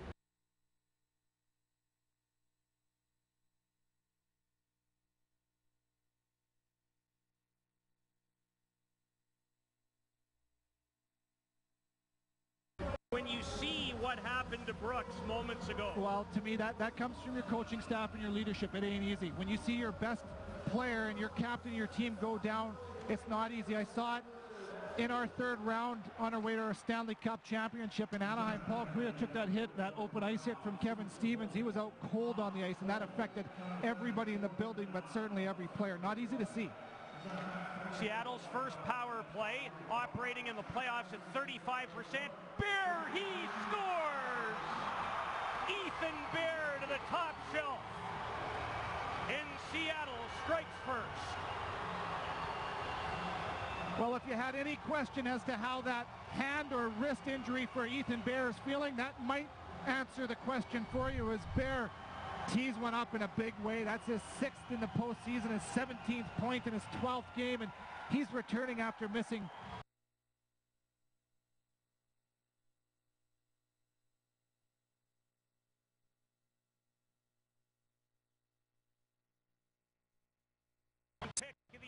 Oilers. And it's not the right hand that's the problem, it's the left. But he whistles it to the top shelf. And Seattle scores the series' first goal on a power play, 4.55 in. And there's 200 plus people here from Ochapowace that are on their feet. Couldn't be happier for their idol, their mentor, Ethan Bear. Such a leader in his own community. See how the Pats respond. We're still four on four. The power play goal came four on three. Adam Brooks has left the game with what looked to be a concussion. Now, I shouldn't play doctor on television or anywhere else, but he was really shaken up. Hey, let's be honest. That's what everybody assumes. That's what you hope that is not the case. But what a what a contem or what a situation here for Regina. You talked about it earlier, Pete, with that loss of their captain, and that's an emotional drop, and then they give up a power play goal moments after. This is a real key time in the game for the maturity of this group to regroup and get themselves back into this game. Bears six of the playoffs on the power play has Seattle in front. He scored two goals and added five assists in last year's championship series.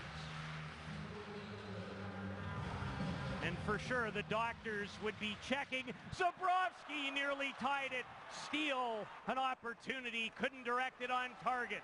Mahura, Leedahl backhander, and the calm and cool Stankowski steered it to the open corner. Great sticks from the Seattle defenseman right there. Aaron Hyman looked to me, he was beat, but he got the stick of Steel to negate the chance on the back door. So the Holmes and Ottenbreit penalties have expired. Barzal back in his own territory. Tyszka to Gropp. He wheels into the zone. Ryan Gropp backhands it in front. belongs to Barzal. A quick backhander off of Zborovskiy's skate. Belongs to Leedahl. Crunched by Neuls. Donovan Neuls towards Matt Wedman. And good body position by Mahura to find Robbie Holmes, who had a big goal in that comeback, down 3 nothing early in Game 6 in Lethbridge. A matter of fact, it was his goal that really helped turn the tide. And you talk about that depth from both teams. There's that depth scoring from Regina coming up big. He had two goals in the entire regular season. He has two in the playoffs. A former member of Canada's National Junior Baseball Program. How about that story? You got to choose which sport you want. You're so good at both. That's an athlete. That's an athlete. You're right. Which we need and to start developing, in my opinion, more of. Not just single sports. But that's a rant for another day. Is now Wagner into it with his we go back between the benches and Derek.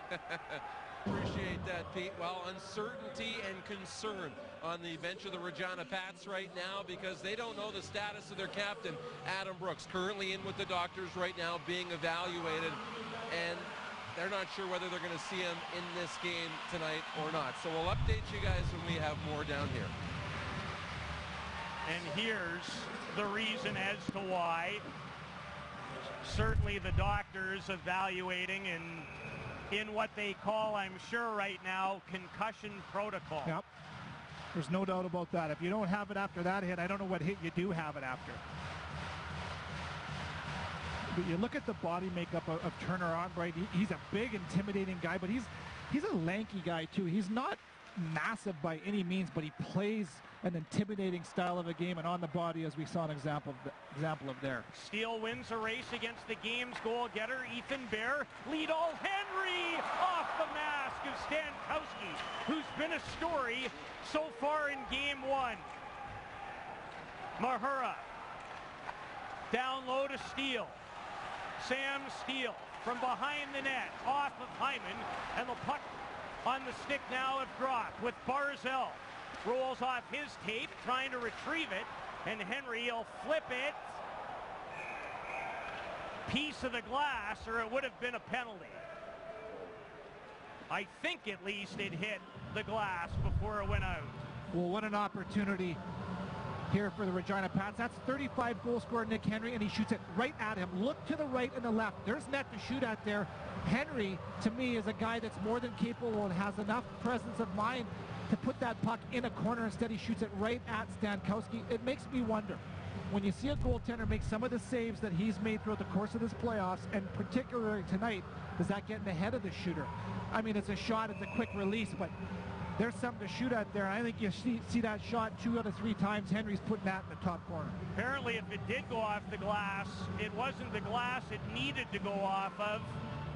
It's a delay of game to Nick Henry. So the Thunderbirds, who are one for one on the power play, back at it again.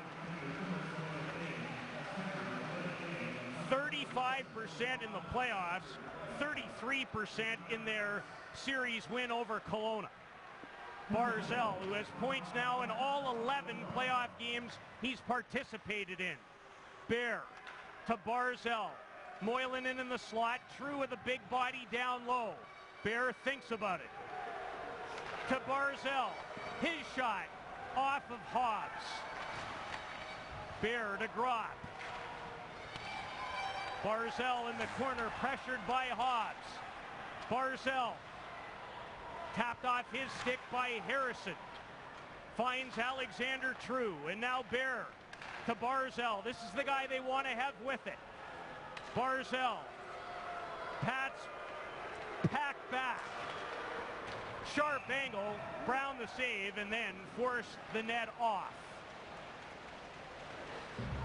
You saw the tight box from Regina, and we talked to Paddock and Dave Struch this morning about their penalty kill, and the one thing you will not see Regina do is chase, especially when Barzal is on the ice.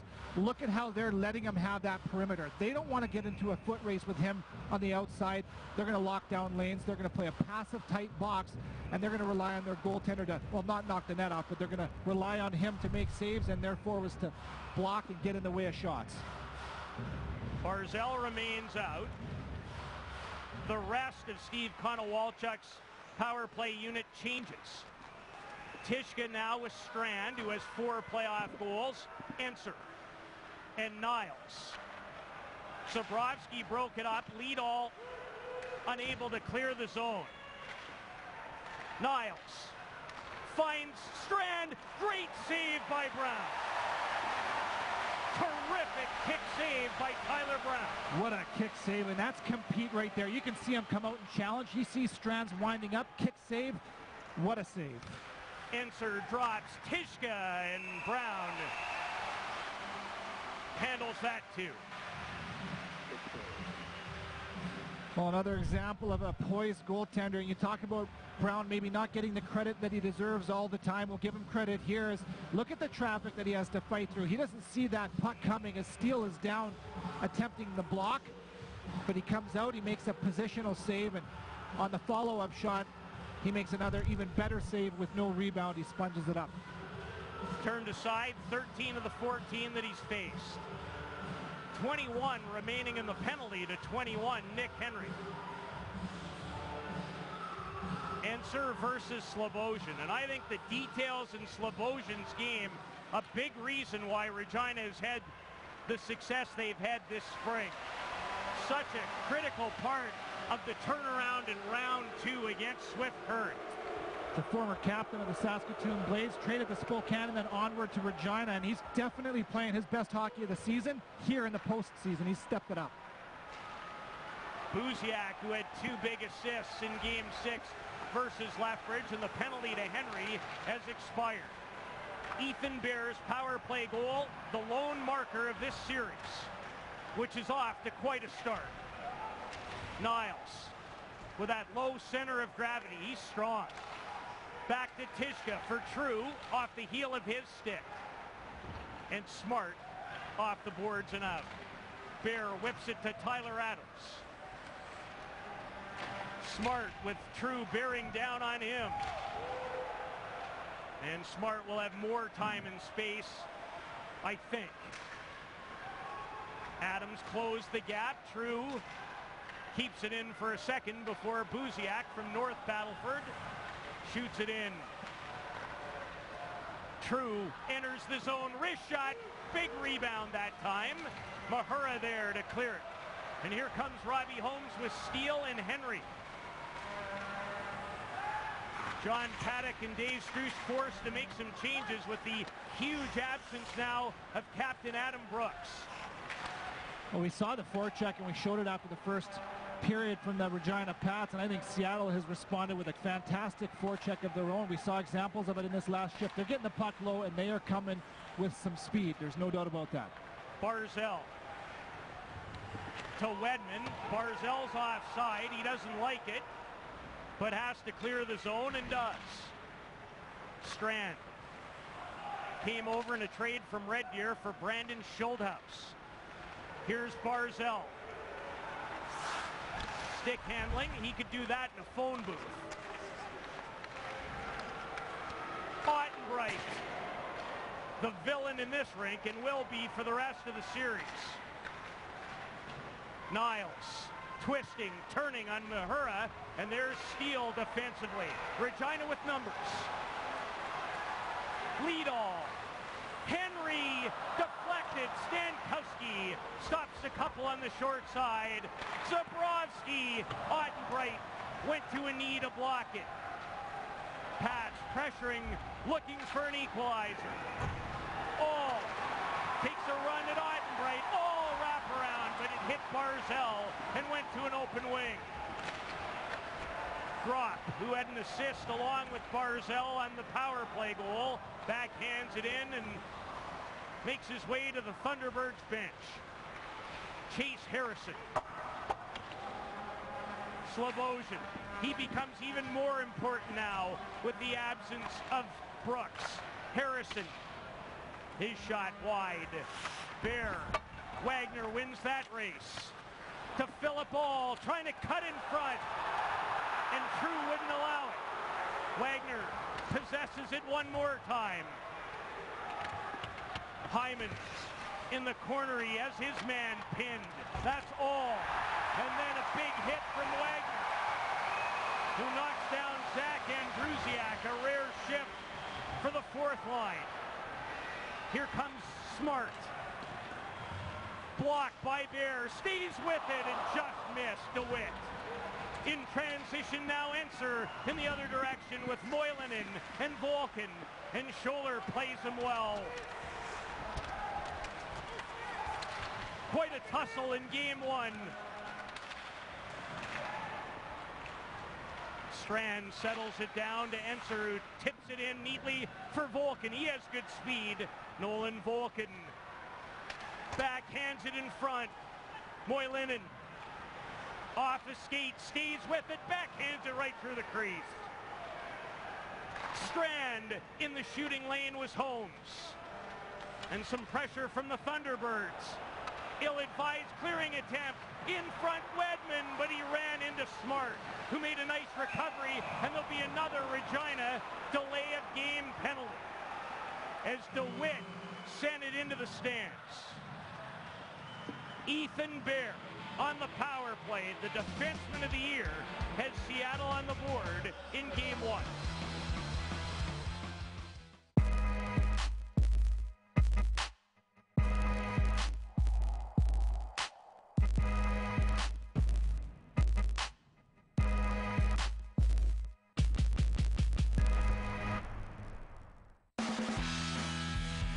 Before and after the game, Tony Roma's offers casual family dining.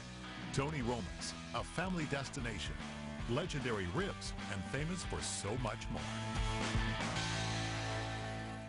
Welcome to Select Fluid Power, home of our brand new state-of-the-art cylinder repair and hard chrome plating facility. With a fully equipped hydraulic cylinder repair shop, Select Fluid Power is your one-stop cylinder repair shop. Open seven days a week, serving Western Canada. Hi folks, Don Taylor here.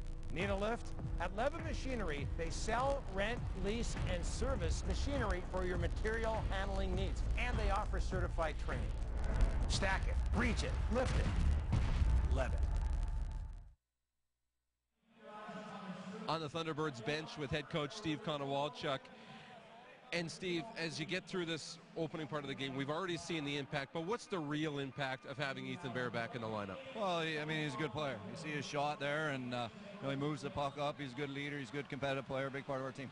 What did you learn from going through this process of a WHL championship series a year ago? Well, that it's a lot of work and a, and a lot of grind, and it takes a lot of character, and you just got to go out it shift after shift. Steve, thank you. Thank you.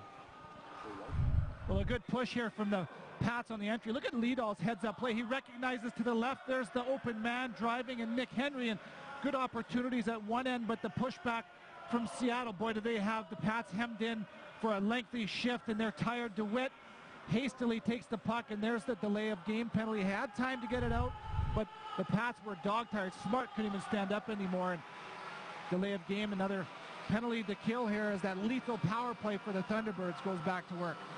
Third straight penalty for the Pats.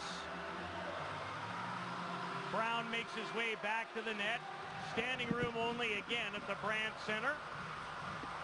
First hockey this fan base has watched in May outside of the 2001 Memorial Cup when they were the hosts. They'll be the hosts in 2018 as well. The 100th anniversary of the Memorial Cup. And they'll do an amazing job. That you can take to the bank. Face-off win, and Leadoff clears it down the ice. 8 for 24 in round three versus Kelowna. Seattle was on the power play, and you might ask and wonder what the details are that makes their power play so well. Well, Ethan Bear, for one, he can shoot the puck. We saw that tonight. The skill that guys like Barzal have, and they've got grit, guys that are willing to go to the front of the net. Well, this one only lasts 19 seconds because the 18-year-old Finn that wears 18, Sami Moilanen, with a boarding penalty. Now you see it on the right side of your screen there as he takes the body on Josh Mahura. Like you said, 18 seconds in, a neutralized power play to four on four. And Mahura felt that. He was shaken. So no surprise to see Wagner four on four. It's Gropp, Barzal, Sloboshan in a spot that Adam Brooks would normally occupy, I would think. And we await word from the medical staff. I'm not sure what we'll hear. It is the playoffs, but just hoping for his health. Deflected shot goes wide. Barzal trying to move it out, and he'll be able to on the third opportunity as it's backhanded in on Stankowski, who nearly deflected it into his own net. Hobbs rips it off the glass. Harrison will keep it in at the left point. Takes a shove from Ottenbreit. Gropp gathering speed. To Ottenbreit. Sloboshan, 13 on 13. He's nearly swept it to Gropp. And here's Sloboshan. Fantastic work by Sloboshan and Wagner. Even when they don't have the puck, they pressure Seattle's defense, make them uncomfortable, and because of that, they've caused a couple turnovers, and as a result, we've been looking to our left here so far in this 4-4. Regina will have a very short power play for 19 seconds after the 4-on-4, but here's Eansor. Loses his balance, regains it against Mahura. Volcan there to support the puck. Zborovskiy is the pad player. Off the goalpost. Tyszka set up, he had some room, and he rang it off the iron. Jarret Tyszka nearly makes it 2 nothing. Here's Volcan. Scampers in against Sergei Zborovskiy. He was plus 72 to lead everyone during the regular season in that category. Plus 24 coming into tonight, which is first in the playoffs as well. Mahura to lead all. Glove save by Stankowski. Look at this last opportunity for the Seattle Thunderbirds. And you talk about guys with low center of gravity and being torquey. It's Volcan and Scott Eansor winning a battle. They come out of the pile with the puck and they hit Tyszka on that back door and he hits the plumbing on that right side. It was a one battle, a nice job down low coming out of the pile with the puck. And Tyszka comes so close to putting his team up 2 nothing. Tyszka with one playoff goal came in game three of the opening round sweep of the Tri-City Americans. He had six goals regular season and 25 points in 54 games. Missed time with injury. A lot of the Thunderbirds did this season. Over 300 man games lost throughout the course of the regular season, and you never want that for your group, but the positive is you get guys playing out of position, playing in situations that now they'll be comfortable in, and they're using their depth here in the postseason. And remember, without their top playoff point producer in Keegan Kolesar tonight, he'll return for game two tomorrow. Alexander True, blocked by Harrison, shots at it, and Brown will hold it.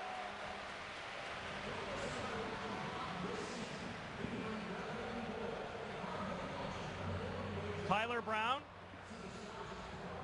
the 20-year-old from Winnipeg, 12 and 5 in the playoffs. He was 4 and 2 in the series against Lethbridge, 257 goals against average and a 905 save percentage.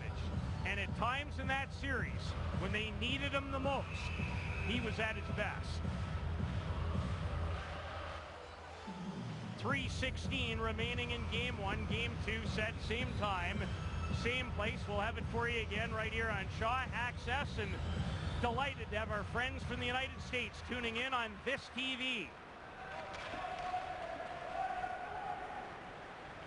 Stankowski will leave it for Reece Harsch. Pressured by Robbie Holmes. Harrison keeps it in with some help from DeWitt.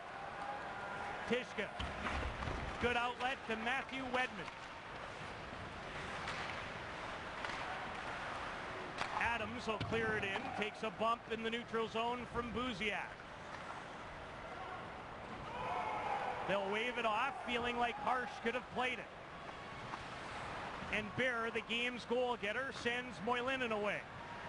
Moilanen darts in, puts on the brakes to Bear. Finds Ottenbreit. That shot was intended as a pass off the end board. Set, uh, that's a set play for sure and a heads up play. Everybody on the ice knew it was coming. Guys net front were looking for the redirect and a real wise decision by Ottenbreit. He knew the leans to the net were locked down. Steel crumples Bear in the corner. And that hurt him. He could feel it all the way from here. I think I heard him from up here. His Ooh. legs were spread. He went into the boards awkwardly, and he's taking his time to get back up on his feet. Already dealing with a hand or wrist problem on the left hand. Get another look at the hit. There's the initial on Ottenbreit. Right there, you can see it's from behind. His legs are separated. It looked to me like he may have kissed the dasher a bit, but he looks to be none worse for the wear. And we'll look at that shot from Ottenbreit. To me, this is a real heads-up play by a defenseman. When you know the lanes are locked down, we'll get a good look at it here. There's nothing to shoot at. What do you do? Put it 20 feet wide. You know the redirect's going to go to a dangerous area. The Thunderbirds forwards were anticipating and created a partial chance on goal because of it. These teams only met once during the regular season. It happened all the way back in this building on October the 30th. Regina won that game 6 to 3 no Barzal or Kolesar in the Seattle lineup that night. It's funny. It's surprising. They're playing against each other like they play each other every other weekend. Well said. Ottenbreit. Mahura pinching on Niles wins the race with his skating ability. Leedahl after it along the boards. Good play by Barzal, and then Leedahl knocked his clearing pass down with his stick. This tussle ensues. Steel against Hyman. Steel. In front, Mahura! Somehow that went wide. Can't wait to get another look. Unbelievable. Mahura being a left-handed shot. He wasn't able to one-time the puck going across his body, but how about the presence of mind for Steel to come out, wins the battle, and look at him, by time, by space. There's the pass, right in the button, but Mahura has to load before he can release it. You can see Ottenbreit and Stankowski push to get to the far post. And again, here's another look, the left-handed shot from Mahura. Can't one-touch it to the back of the net. Isn't able to get it off in time. Sam Steel just showed you why he had 81 assists during the regular season. Absolutely never panics when he has the puck, even if he's in traffic. There are times where the only issue from the coaching staff is they'd like him to shoot it a little bit more. and he scored 50. shoot more, son. Especially on the power play. A race for it, and Wagner, oh, what do you know? Austin Wagner beats out an icing. There's a stunner. Not so much. You don't need stone cold in the building for that one. All in the final minute of period two. Hobbs cruising in. Hobbs back to Chase Harrison. Lots of traffic in front. And Volcan went down to block it. Hobbs racing for it. Shot it high and wide. All versus Volcan. Couldn't take the puck with him. Wagner and Volcan stood up to that hit well. Harrison breaks it up. Strand looked to get his stick up on Hobbs, and then Eansor was nearly left by himself for a breakaway. Moilanen.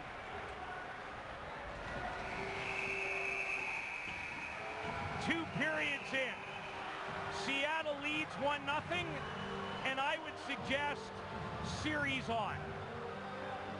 There's no question about that. And to me, it's going to be a huge reset here for the Regina Pats. They've got some emotional mountains to overcome here. We saw the hit against Adam Brooks. They're missing their captain and they're one of their best players and they've gone down on a power play goal against. I thought that Seattle pushed.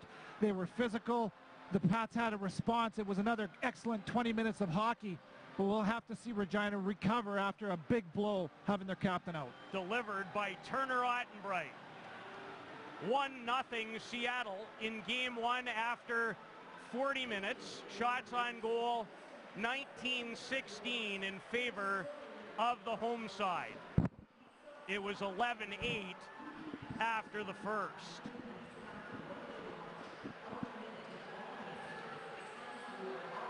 And Kevin, I think you bring up a great point about the reset. So difficult to see one of your teammates go down in that manner. And Mathew Barzal has joined Darren DuPont. Yeah, thanks, Pete. Matt, 40 minutes into the WHL Championship. You're here for a second time in a row, so how good does it feel to be back and finally back on the ice in this series? Yeah, it's fun. Uh, I'm a competitive guy, and you know what better stage is is you know the competitiveness here uh, in the finals. So uh, it's been a good game so far, and you know we're looking at it to be a tough series. We know these guys are good, and uh, we're excited. Speaking of being a competitive guy, we had Sam Steel in the opening intermission, and I asked him the same question. How much do you enjoy the chance to go head-to-head against their top player on the other side? Yeah, it's good. Obviously, he had a, a heck of a year, and uh, he's a hell of a player. So, um, you know, it's always fun playing against guys that good. So, kind of kind of raises your game and forces you to be a better player. So uh, it's fun. Kevin Sawyer mentioned on the broadcast in that second period that it almost appears that you guys are playing as if these two teams play each other every second weekend. For teams that only play each other once a year, how easy was it to get into the game early? Yeah, I mean, uh, you know, it's, it's the finals. You know, you, you don't play these guys too much, so you kind of got to establish that that hate for a team, right? I mean, uh, you got to learn to hate them, hate them pretty quick, and um, it's been a physical game so far. They got some big boys, and we got some big boys too. So it's been a it's been a tough uh, first 40 here, and I'm sure the 20 uh, last 20 won't be any different. Yeah, physical physicality, intensity is there. How much do you guys enjoy when the game comes with a lot of that? Uh, it's one of the staples of our game. Uh, we play a physical game all year. We play in a pretty tight division where uh, every game's physical, so uh, we're used to it. It's fun. Gets you into the game, giving hits, taking hits. It's part of hockey, so uh, it's been a been a hard, competitive 40 minutes here. Matt, appreciate it. We're looking forward to a good series. Thank you. Mathew Barzal of the Seattle Thunderbirds. On the other side of the break, we've got Andy, Jeff, and Joy. Two periods in the books. Game one of the WHL's championship series. Access 7 Sports presents the Regina Pats and the Seattle Thunderbirds in the WHL Championship. Watch exclusive full game coverage only on Access 7.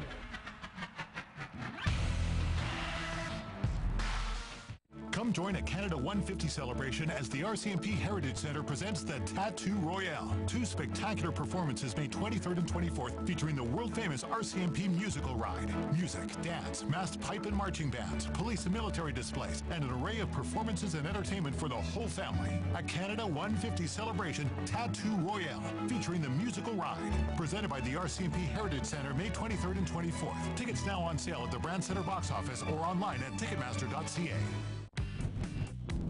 Join the conversation. Tweet at myaccess underscore CA. Like us on Facebook. Subscribe to our YouTube channel to find out what's new on Access 7.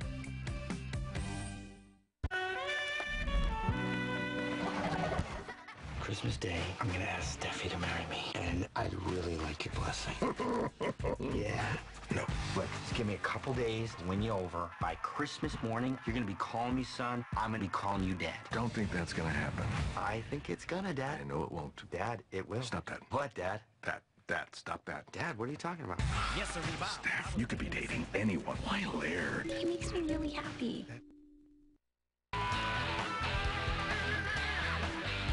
Bob Dale Gloves WHL Central is brought to you by Bob Dale Gloves. Found online at bobdalegloves.com.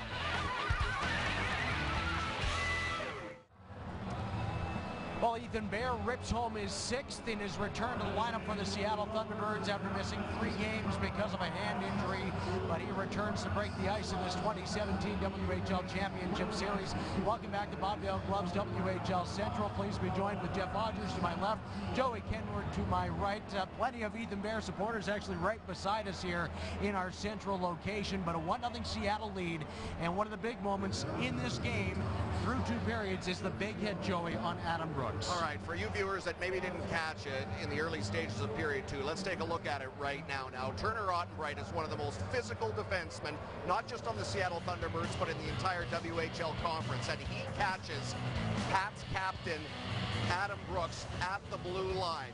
It was a shoulder-to-head contact. Brooks left the game, has not returned.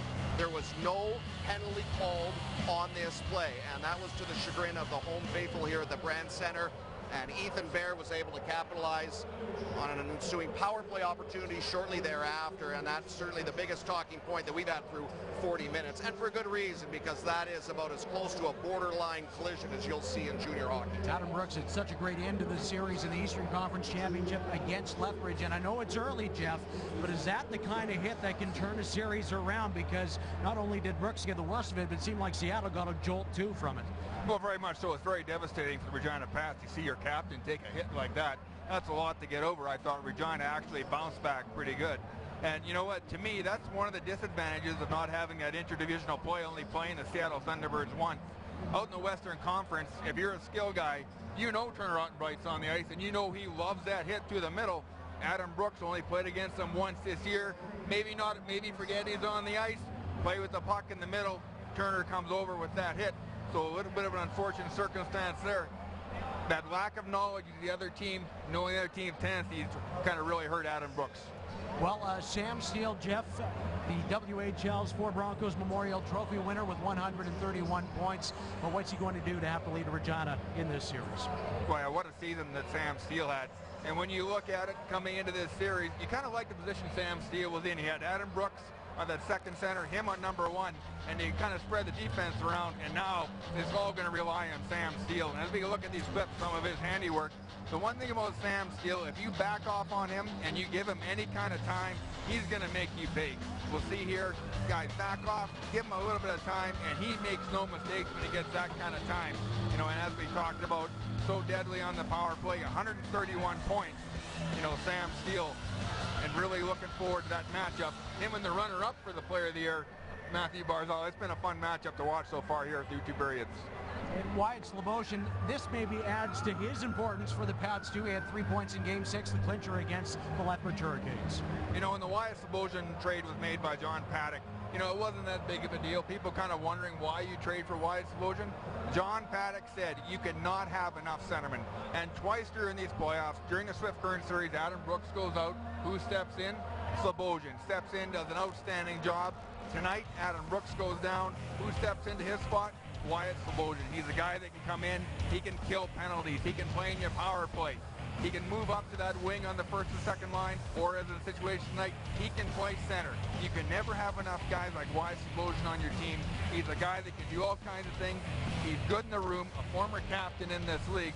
Wyatt Sloboshan, come playoff time, he's, to me, the most important trade of this season, especially with Jake Leschyshyn going down right after the, the acquisition. Another sentiment for John Pats. Well, on the other side of the ledger, Mathew Barzal was the Western Conference nominee for Outstanding Player in the WHL, and now he's got an assist on the Ethan Barrett goal, Joey. So that's 11 straight in the playoffs, 17 overall. He's been fantastic. He has been everything and more, and without question, the most dynamic forward, and not only in the Western Conference, but I think in the entire Western Hockey League this season. If he played a full year, folks, he probably would have won the trophy to be honored as the MVP of the league. He's played 44 playoff games this year for Seattle, or in his career, excuse me. 15 goals, 43 assists. In 11 playoff games this spring, he's had six goals, 13 helpers. In just 41 games this year, and we see him here in one of them against the Everett Silvertips, he had scored 10 times to chip in with a whopping 69 assists. This is a guy that's got a long future ahead of him in the New York Islanders organization, and I think uh, the best hockey is yet to come from Mathew Barzal this series. And what a big addition for them, getting Ethan Bear back. He missed the final three against Kelowna in the Western Conference Championship. His left paw is a little bit sore right now, and there's actually a protective piece over his glove, but we saw what he means with that goal in the second period. Didn't really affect him too much on that one-timer on the power play, did it? And he did that a lot this year down in the Emerald City. The defenseman of the year in the Western Hockey League for the second time in three years comes from the Seattle Thunderbirds, and it's Ethan Bear. What a year he had. In 67 games, 28 goals, 42 helpers. Half of his goals came on the power play, just like this one against the Victoria Royals. Here's another one that he had against the Everett Silvertips. He's a third, he's a player that was unbelievable in the playoffs heading into this series with five goals and 11 assists. Four of his goals came on the power play. He's not known as a big physical defenseman. We saw it there in a good body check, but a player that's been a pretty good complete package. And in his absence, Seattle didn't seem to miss a beat, but boy, are they welcoming him back with open arms. They didn't want to have him watching this one from the press box tonight here in Regina. And Edmonton Oiler fans are getting more and more excited the more they learn of Ethan Bear on defense. Now, Connor Hobbs was up for Defenseman of the Year as well for the Eastern Conference for the Regina Pats. Led all scorers among defensemen in the regular season, two points ahead of Ethan for the playoff scoring lead. But what about Connor, who was held off the score sheet in 5-6 in the Eastern Championship? Yeah, and what a matchup we have here tonight. Player of the Year for forward matchup, and now we have Defenseman of the Year matchup with Connor Hobbs, the runner-up with Ethan Bear. And, and Connor Hobbs is one of those guys, you know, he does everything big. You know, he shoots big, he hits big, he's got all kinds of skill. And this is where he's most effective on the power play. He can really rip it. When he unloads it, and the Lethbridge Hurricanes did a great job of taking this away by paying the price and blocking the shot. When he's not scoring goals, he has that ability to step up, make a big hit, make a big play. You know, we've seen one of those earlier tonight from Seattle. Connor Hobbs has that ability to change a game with his physical play as well as his stick shooting the puck. One thing that know, everybody notices was Seattle. It's a big group, and they're missing one of their bigger guys and their leading playoff scorer, Keegan Kiki Kolesar, serving a one-game suspension. But what about his addition tomorrow night for Game Two? Well, that's big for Seattle because uh, this is the guy that really has uh, driven the bus for the T-Birds to start the playoffs. Barzal and Gropp did not get a lot of minutes in to start the postseason for Seattle. And in their absence, Kolesar led offensively. And a player that's suspended tonight, Kolesar, a draft pick and signed prospect for the Columbus Blue Jackets, has put up nine goals and 13 helpers in the postseason. Two of his goals have been game winners.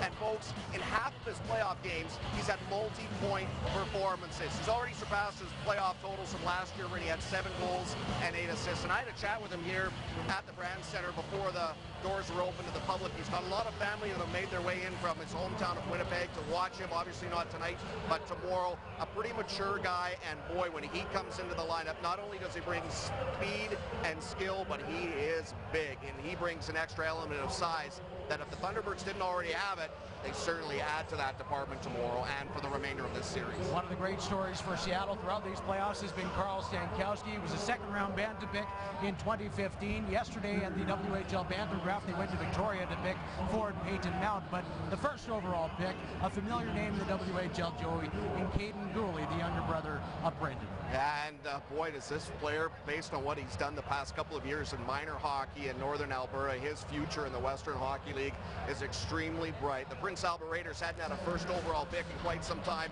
but they head to Sherwood Park to select Kaiden Guhle, six foot one, 174 pounds, and in 30 games this year in Bantam hockey with the Okanagan Hockey Academy program in Edmonton, 17 goals, 23 assists, seven help goals come on the power play. Those are pretty impressive stats for a blue line, and you can see he was a captain of his Bantam hockey team as well. And I know for the Raiders, who had so much luck with his older brother, who they picked third overall in his draft class in 2012. Uh, they hope the bloodlines are going to continue in the, the right way for their organization. Already a lot of people talking about him being a top prospect for the NHL draft in 2020. And it was so funny, the first, first round stormed by yesterday morning. We got through it in about 45 minutes, and then the trade started to happen. One of the big ones, Saskatoon sending Mason McCarty back to the Red Deer Rebels, who they had gotten in 2013 in a deal that saw them in a big one that uh, the Rebels got Nelson Nogier for.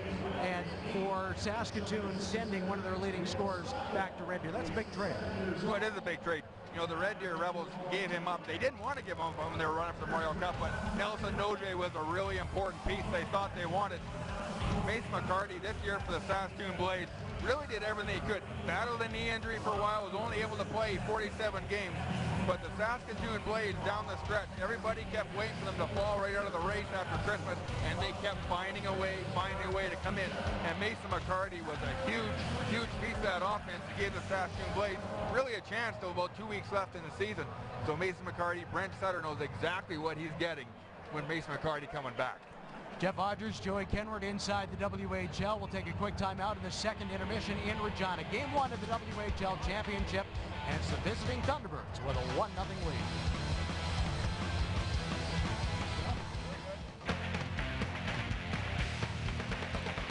Bob Dale Gloves WHL Central is brought to you by Bob Dale Gloves. Found online at bobdalegloves.com.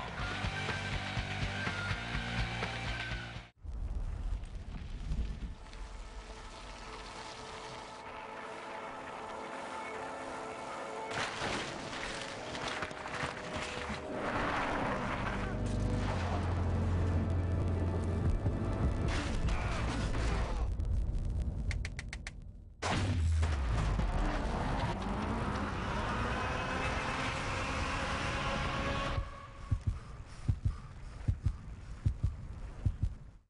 Hi, folks. It's me, Don Taylor, way up here with my friend Murph. At Levitt Machinery, they sell, lease, rent, and service all these machines, and they offer certified training. Need a lift? Stack it, reach it, lift it. Levitt. Access 7. Bringing Saskatchewan to you.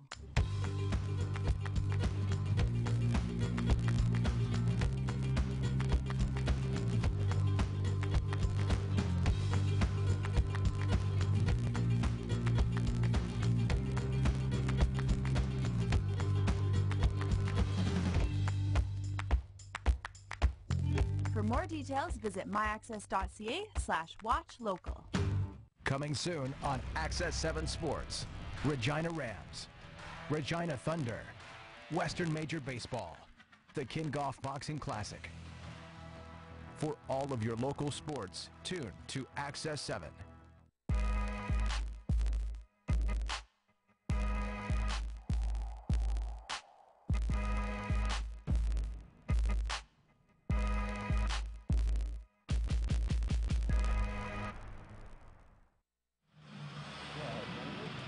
Western Conference champions, Seattle Thunderbirds, with the only goal so far in game one of this championship affair off the stick of Ethan Bear.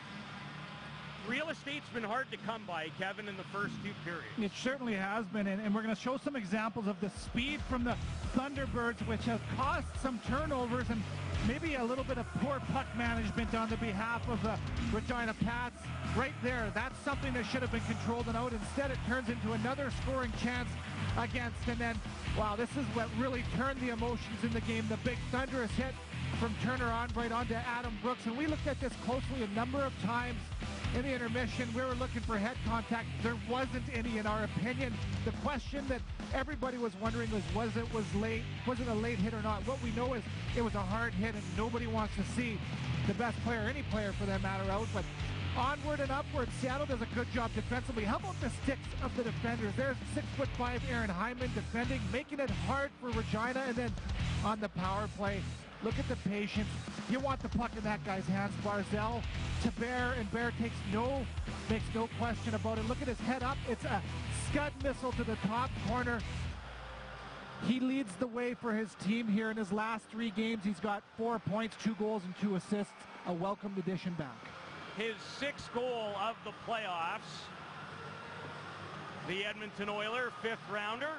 And that's where we stand questionable because of a hand injury or a wrist going in. He missed the final three games of the Western Conference Championship set versus Kelowna, but back tonight and has made an impact with the only goal. No Adam Brooks as we expected on the Regina Pats bench.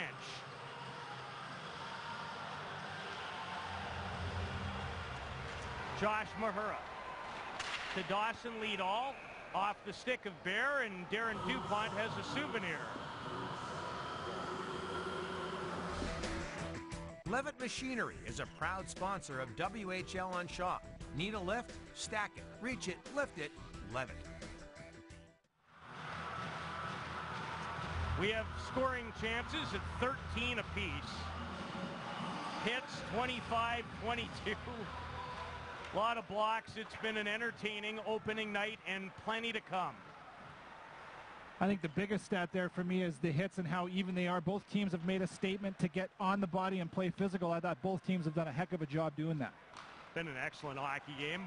Gropp, who drew an assist on the power play goal. Solid jolt from Dawson Leedahl. And Darren was right there when it happened. I saw that one up close, fellas. So I've had the most action of the start of this third period. But who hasn't? Adam Brooks. You guys haven't seen him. He's not on the bench to start the third period. The Regina Pats playing this very close to the vest. Not a lot of information, but I wouldn't expect to see him in this third period. You'll hear from me if that changes, guys. Sloboshan in a more prominent role as a result. On the ice with Ahl and Wagner, Brooks' regular line mates. Eansor to Moilanen. Bodied off the puck by Ahl. Eansor carries on. Tyszka just onside, and his wrister gobbled up by Brown.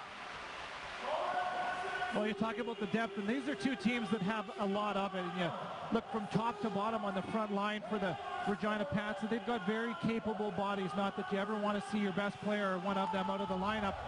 They've got guys that are conditioned to step up, and we talk about Wyatt Sloboshan with four goals, 12 points coming into tonight. He's going to play a more prominent role, like you said, Pete, and he's playing the best hockey of his season, regular and postseason. So he's up for the task, to say the least. Sloboshan with a goal and two assists in the series clincher on Sunday in Lethbridge. Adams dumped by Scholler, gets back to his feet. Seen a lot of that and don't expect it to go away.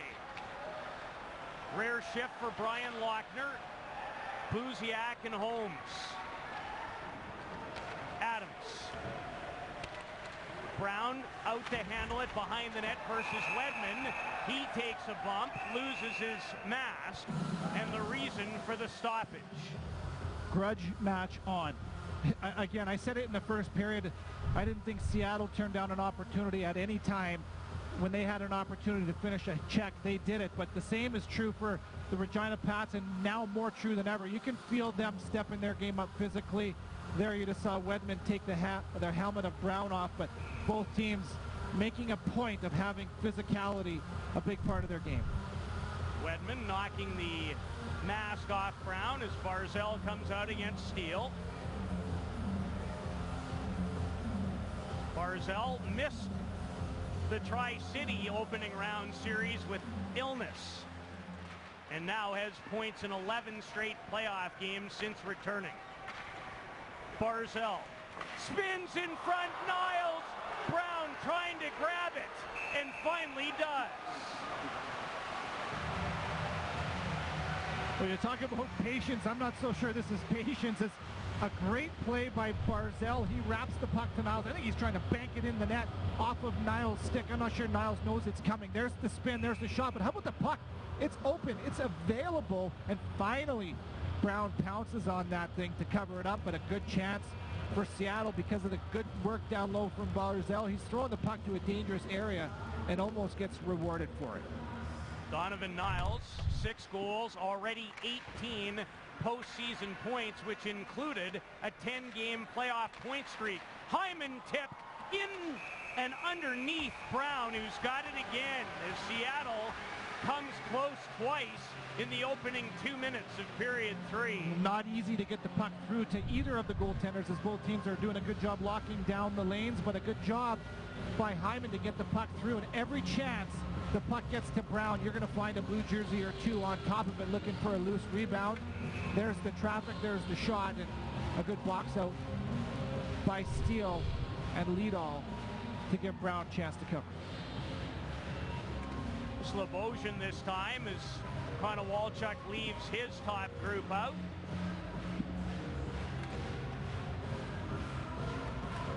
And Sloboshan from Vanscoy, just outside of Saskatoon, wins the faceoff. Back pass off the stick of Wagner. Bears down on Ottenbreit. To Ahl. Filip Ahl trying to backhand it in front. Wagner intercepted by Gropp, who chips and chases. Zborovskiy runs some interference. And I think you know what the call is. Oh, the fans won't like this one bit, but you can see that Gropp has got a step. He makes a good play here by putting the puck in. He wants to make Zborovskiy turn. We talked about the plus 72 in the regular season. Zborovskiy, not an easy guy to play against, but there's Gropp putting the puck into an area, and there's Zborovskiy just a little bit too much time had passed. He gets on the body with no puck, and there's the interference call. Seattle about to enjoy its fourth straight power play. Regina's had one in the game. And John Paddock's team short-handed again. Well, in a series in, in round three where Seattle was on the receiving end of penalties, they had to kill 42 power plays from the Kelowna Rockets. They only had 28 of their own. They've got four to one here so far in game one against the Regina Pats. Barzal, and they have the lone goal in the game on the power play, courtesy of Ethan Bear, who has it now. To Gropp, he and Barzal work the flanks in this 1-3-1 setup. Moilanen in the slot, True in front for net front presence. Gropp off the wing, he hit True with it. Bounces to Barzal. Ducking and weaving, his pass broken up and Hobbs backhands it down the ice. That's perfect execution from a well-coached team from the Regina Pats. A passive box again. We saw it even though they give up a power play goal earlier. They're very disciplined in staying in the middle of the ice and locking it down. Barzal takes a couple of solid whacks from Sloboshan. Skate to stick. Barzal from Coquitlam. Misses Gropp. Can Wagner get to it? No, he can't now. He might get in behind Bear. Wagner! Robbed again by Stankowski. All the kid has done is make all the big ones. Well, just when you forget that he's even in the game because he hasn't been tested very much here in the last 10 or 15 minutes, he's letting us all know that he's here. How good has the kid been? Unbelievable. And Wagner with anticipation, a good job by Leedahl to get that puck to him. Wagner gets a step and he spreads the five hole out of Stankowski, which is exactly what he wants to do. He goes backhand, forehand, but Stankowski competes battles, and look at him make the save, and again, no rebound. On fire, to say the least. Look at the paddle to take away the five hole. The Pats have four shorthanded goals in the playoffs. Wagner has three of them. Wagner with five shorthanded goals in the regular season. He had seven the year before, which led all the Western Hockey League. The league record, by the way, you have to go back to the mid-80s. And it is 13. Unbelievable. Not easy to do. And the thing about Wagner that I like so much is he's productive and he scores shorthanded goals, takes care of the defensive end first. It's his sense of anticipation and, of course, his speed that leads to shorthanded goals. So dangerous.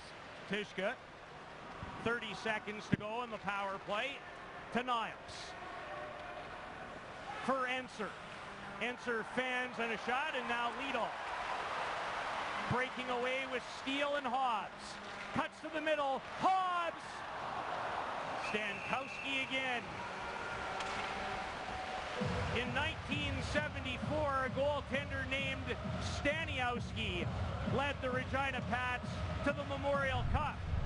Tonight, a recently turned 17-year-old named Stankowski is putting on quite a show. And how about the show on that save again as the Pats weave and zig and zag on the entry and Hobbs finds himself with the puck and a lot of time to shoot from a dangerous spot. Stankowski again, blocker save, controls the rebound. I'm sounding like a parrot here tonight. I think I've said that a few times. Save, rebound, control. His save off of Wagner in the first of the incredible variety. Not quite Stu Skinner from the Lethbridge Regina series, but not far from. Moilanen. Zborovskiy out of the penalty box, so Regina kills off another. Seattle one for four with a man advantage. Gropp. Swept off his stick, now he pokes it. Ahl intercepted. Gropp, a quick wrist shot to Tess Brown. Turner Ottenbreit. Wedman, his time and space taking it away by shoulder. And here's Wagner to Filip Ahl from Sweden. Jan Schoping, I believe, is the pronunciation. Not spelt like that. He has it again. Mahura looks for a lane. Feeds it to Ahl with that six foot four inch frame. Tripped up by Bear, and Bear comes away with it somewhat dangerously in front. Kept in by Lockner, a 16-year-old from Windsor, Colorado. Lockner keeps it in, and Stankowski hangs on to it. What a great job by Ethan Bear defensively. We talk about him so much in the offensive side of things, but he's really taken care of his 200-foot game, and, and he's gotten so much better. Perhaps the biggest difference from last year to this year, we saw down low, Bear separates the man for the puck against Filip Ahl, who you talked about being 6'4", at 215 pounds. Not an easy thing to do, but so impressed on the 200-foot game in all three zones with Ethan Bear. As the lone goal is sixth, he scored 28. 14 of those 28 were on the power play. Konowalchuk talks about the teammate that he is and the, the student of the game that he is. When you, when he, Konowalchuk talks, he's got the undivided attention and that glare from Ethan Bear. He's listening, he's sponging on every word. He wants to get better daily, and he certainly has. And it's one thing to make a difference on the ice. The difference he's making in his own First Nations community, you can't say enough about. Well, when they sell 500 tickets in this building when Ethan Bear comes to town, what else do you have to say? It is a great story. It sure is. Great family. Met them last year in Brandon at the league final. Wrist shot by Neuls, blocked by Harrison. Here's Leadoff. 11 postseason markers for Nick Henry. Henry wanted to send it in deep, but dropped, intercepted to Austin Strand.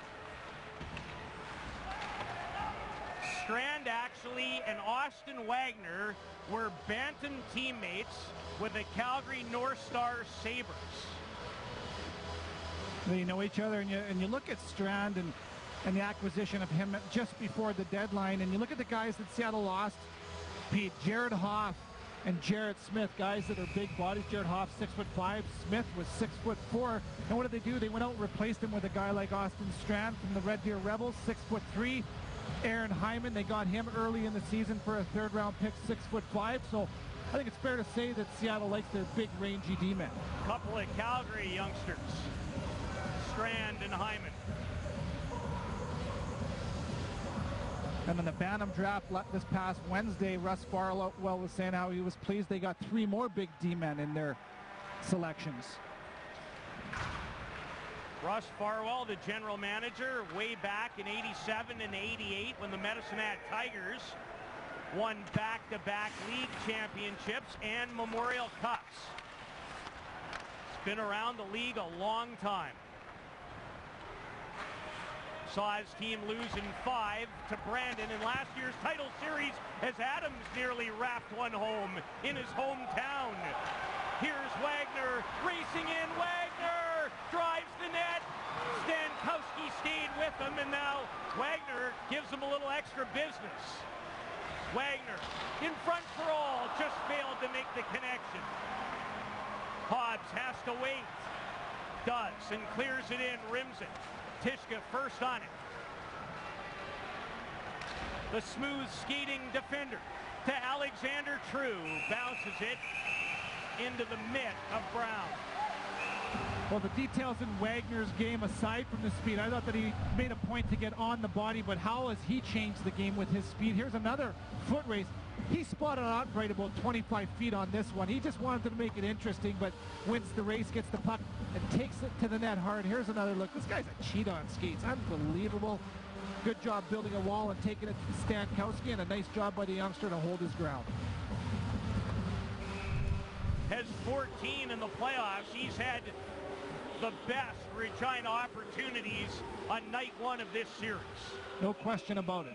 He's a guy that Dave Struch says when he keeps his game simple, he's at his best. You don't need to make things complicated when you have that type of speed. Put the puck into smart positions, win races, and let the rest take place. Scored 30 during the regular season.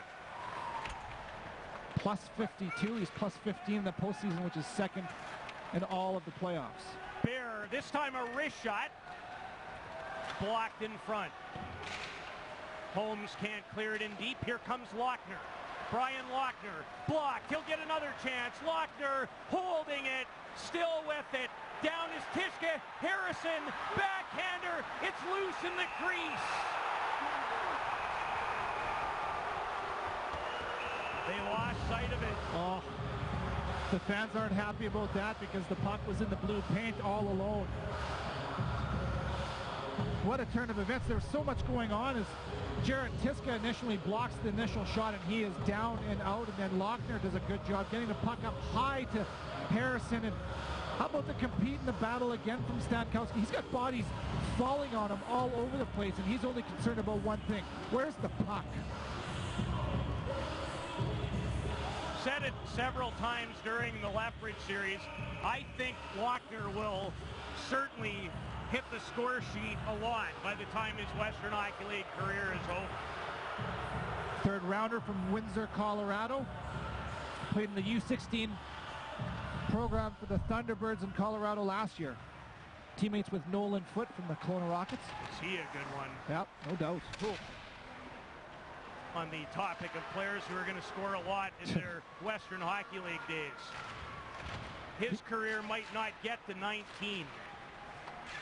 We could be talking about him being in the top 10 in three years. He's got the late birthday as well, so his draft year isn't for another two years as well, Nolan Foote.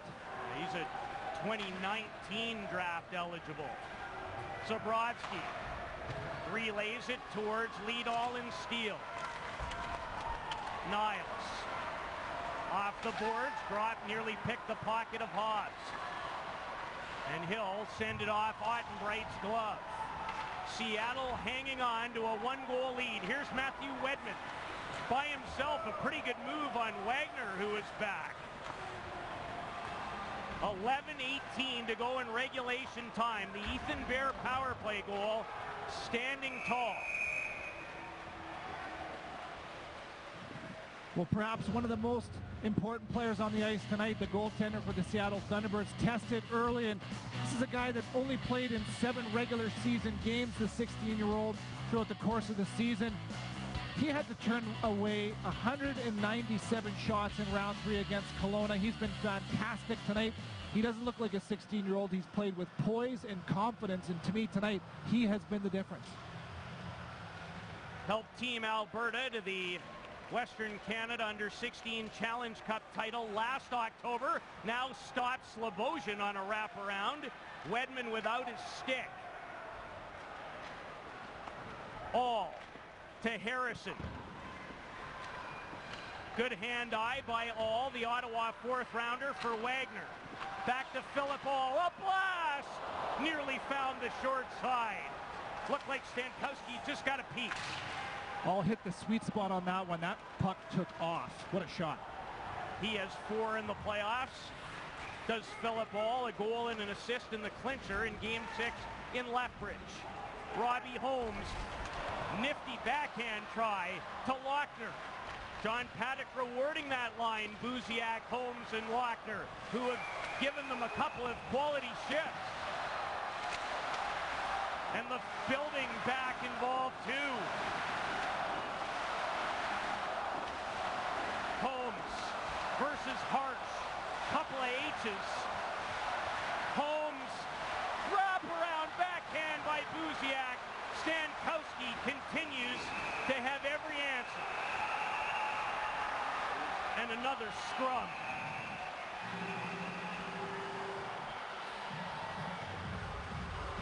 Stankowski has yet to allow one. Ahl gave it his all here. And the outside of the iron. It remains 1-0 in game one. Tony Roma's, serving its signature ribs for 40 years. With an expanded menu including steaks, chicken, and seafood, Tony Roma's is a family dining destination. Tony Roma's, legendary for ribs, famous for so much more. Hey. Hey. Hey. Hey. Hey, hey, hey. Hey. Hey.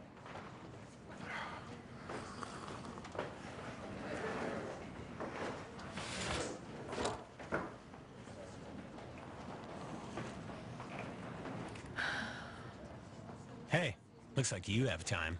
Take a two-minute test and find out your risk of getting type 2 diabetes. Hi folks, it's me, Don Taylor, way up here with my friend Murph. At Levitt Machinery, they sell, lease, rent, and service all these machines, and they offer certified training. Need a lift? Stack it, reach it, lift it. Levitt.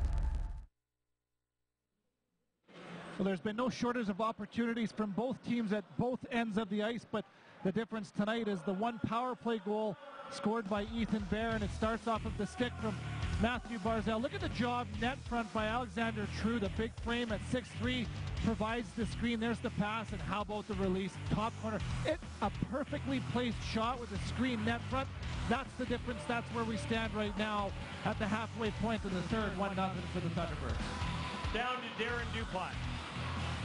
As well as Carl Stankowski. Calm, cool, collected after game six. I don't know if you guys can see me ducking around the officials, but after game number six, the win over Kelowna to seal the deal in that series and advance to the WHL Championship Series, it was a loud, Noisy, excited bus ride back to Seattle. Where was Carl Stankowski? Fast asleep. So not much gets to the young netminder in these playoffs, and nothing has gotten past him tonight.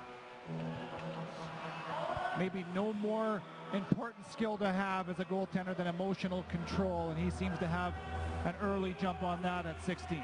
Coincidental minors, by the way, to Lockner and Volcan on the scrum. Barzal weaving, stripped by Wagner. His pass, and that was not an easy save as it was deflected off the stick and gave Stankowski fits. Noisy shift against Austin Wagner when he's on the ice. You have to respect him and you respect his speed. And he uses it so effectively as he creates the turnover there. He takes it from Matthew Barzal. I'll take that. Thank you very much. And you're right. A, a deflected shot on net. It changes direction and speed. And Stankowski, it's got to be sharp to make the save. Mahura hits Austin Strand. Strand comes away with it against Wagner. If you're the LA Kings watching Wagner tonight, you love what you've seen. Pretty happy with the value of your 99th pick. Fourth round in 2015.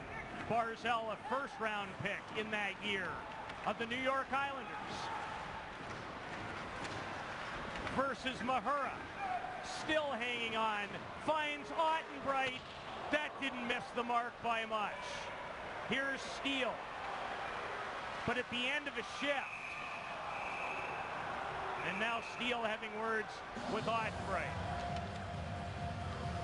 A nice shift down low. You talk about Matthew Barzal, and again, you see him, and he's. We all know he's great with the puck. He's a good skater, an amazing skater, amazing puck possession. But we've seen him add to his game too. Is he plays with some weight on him as well. Here again, he sheds the pressure, but when the bodies are on him, like right there, He's exceptionally good at staying on his edges, protecting the puck. Great examples of it. Makes the play up high and creates a scoring chance by getting the puck after winning battles in the trenches. Ottenbreit with a, I don't know what the right adjective is, but one you won't forget that has Adam Brooks out of the game. Wrist shot by True. Tested Brown. Back comes Sloboshan trying to get away from Bear. There'll be a penalty. Well, Ethan Bear is going to argue here that Slobozhin, Slobozhin, pardon me, grabs his arm and then falls. Regardless, it's a heck of a shift by Slobozhin. Pardon me, Slobozhin. Easy for me to say. but watch him here. He takes off. Bear does a really good job. You decide who grabs who. There's Bear. That's pretty. That's a that's a the right call, no doubt about it. As Slobozhin has the step on him and the Pats are going to have a power play here and an important power play here. 8.37 left, down by one in the third. And it will be four on three. Remember when Ethan Bear scored in the second period, it was on a four right on, on three. 8.37 to go in regulation. 1-0 Seattle in game one of the best of seven Western Hockey League Championship Series. Pats with a face-off win. Tee it up for Hobbs. Back to Mahura with Steel and Leedahl. Sam Steel to the middle. Mahura! And Stankowski reads it. Well, a good job by Steel. I think everybody on the ice is anticipating Hobbs that he's going to get the puck. He's the right-handed shot, sitting, waiting on that back door. On his one-timer, the puck goes to Mahura, possibly in an attempt to catch them off guard. A good shot on net and a nice blocker saved by Stankowski. Face-off win for True. Understand a lot of NHL teams taking a look at True. Eight goals and 16 points in 14 games coming into tonight. Pat's working four on three, looking for an equalizer. Hobbs hit Leedahl, and it hurt him. Stays out there, has room in front. Steel looks at him. Off the outside of the net. Pressured. Leedahl cuts to the middle. Hobbs, he scores! Connor Hobbs tight.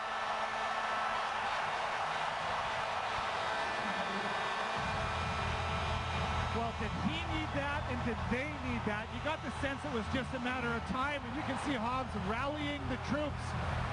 He's a passionate guy, and what a shot that he has. You can see him. He is ecstatic.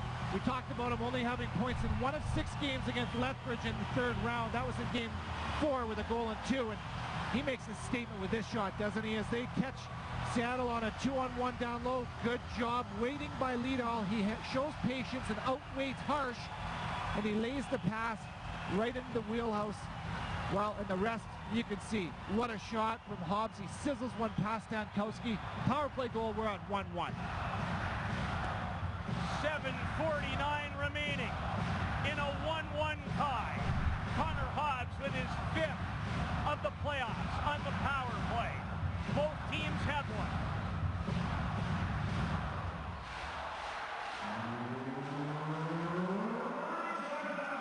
Zborovskiy clears it to Wagner. Wagner's pass, good take by Sloboshan, ridden off by Neuls. Here comes Ahl. Ahl kicked away by Stankowski. And now Barzal. Will he supply some magic down the stretch? Sloboshan backhands it for Wagner. Probably been the best pad in the game. I would agree. Austin Wagner versus Ottenbreit. Connor Hobbs has tied it. He sent this place into high stirrups. And, and, they really needed something to feel good about here. They were down on themselves, I think, a little bit. They got outplayed perhaps in the second a bit, lost their captain, and well, there's some energy injected in this building now. Braden Buziak intercepted by Eansor. Any team would benefit from having Scott Eansor. So reliable. Such a great two-way centerman. Lockner back to the line. Scholler, dangerous pass. Got away with it. Well, you talk about Scott Eansor. He reminds me of a, of a Marchand from, from Boston. Small, torquey. He's got skill but extremely hard to play against. He, you're not going to have an easy shift when he's on the ice, ever. Chopped away from Tyler Adams off the bench is Steel. Steel and Leedahl draw the assists on the Hobbs equalizer at 12-11. Wedman to Ottenbreit. Blocked by Henry. True down low protects it against Zborovskiy. True comes away with it. Back to Hyman. Wrist shot blocked. Hyman with it again. Ottenbreit tipped in front but didn't make it to the net. Uh, this is fantastic. Guys paying prices in lanes. There's guys limping off to the bench after their shifts, blocking shots, taking hits to make plays. That's playoff hockey. Had a few people come to our booth even after the first period going, this is what a championship series should resemble. I don't think anyone's disappointed. The best of the best, there's no doubt about it tonight. Ahl and Barzal, nice work defensively for the Thunderbirds. To Strand, off of Wedman. And Barzal with time to operate. Under five to go in the third. Bear in the second on the power play. Hobbs the two highest scoring defensemen in the league during the regular season. Hodge with 31, Bear with 28. Head-to-head with the D-Man of the Year and the runner-up. Head-to-head with the Player of the Year and Steel and the runner-up and Barzal. I'd say there's some talent on the sheet tonight. Mahura as Steve Konowalchuk's crew is changing. Lockner chips and chases against Good work by Tyszka. But Buziak keeps it in. Holmes versus Eansor. And there's an example of what Eansor gives you. That's a great play. Volcan in hot pursuit, centered it right through the crease. Back comes Robbie Holmes. And now he'll shoot it in and head off. Eansor loses it to Leedahl, pulls him down, and it's offside. Well, we talk about the details in the postseason and what it takes to win. Take some of this. Sacrifice the body to block a shot. There's Henry blocking one. Leedahl, how good has he been tonight? Taking hits to make plays, blocking shots, selling out, sacrificing the body. You can't make it easy for the puck to get to your netminder. In the playoffs, that's what it's all about. We've seen two teams lay it on the line in that regard tonight. And Regina lost their captain in the second period on a humongous hit delivered Scott Stevens like by Turner Ottenbreit and is not returned. That's probably the best way you can describe it is Scott Stevens like. He stopped him in his tracks. There's the hit. That is a punishing, scary hit. Ottenbreit, and to me, that gave Regina every opportunity or every reason to fold up the tent seeing their captain on the ice like that. They haven't done it. They've clawed their way back into this one. Found a way to beat Stankowski with 1-1. Donovan Neuls went to the net and he had some room and now Brown is uncomfortable. He's hurt. Tyler Brown is hurt as Henry goes to the net. Back comes Neuls. Leedahl. Oh, Brown looks really uncomfortable. Barzal to Strand into the slot. His wrister whistled wide. Seattle looks for a go-ahead tally. A wrister by Adams missed. And Zborovskiy wants to clear it out. He does. Stankowski will be forced and keep an eye on the Regina goalie. Well, both goalies have had to deal with a lot of pressure coming towards them throughout the course of the night. Here's the puck arriving at the net, and look at Neuls as he goes to the net hard, and then he makes contact with Brown. You can see Brown's head lash back. He was uncomfortable. And he was still down on one knee when the play goes the other way, but there it is. Neuls goes. Looked to me like it might have been an awkward knee bend or something like that. It took him a while to recover. Here's the puck 200 feet away, and you can tell that Tyler Brown is not feeling very good, but he looks like he's back at it, back to his feet. How many twists and turns can you have in game one? And we're a long way from complete. Hyman under three to go. 1-1 tie in game one. Hobbs, who tied it in this third on the power play. Wagner off the arm of Ottenbreit. And Ahl clears it cross corner. Regina changes. Out comes that Buziak line again. John Paddock has really leaned on them in the third. They barely saw any time Yep. in the first two periods. They've provided energy, and they've had the puck in the offensive zone a majority of their time. Zborovskiy head Buziak loose in front. Hyman. Adams blew a tire. Kept in. Buziak.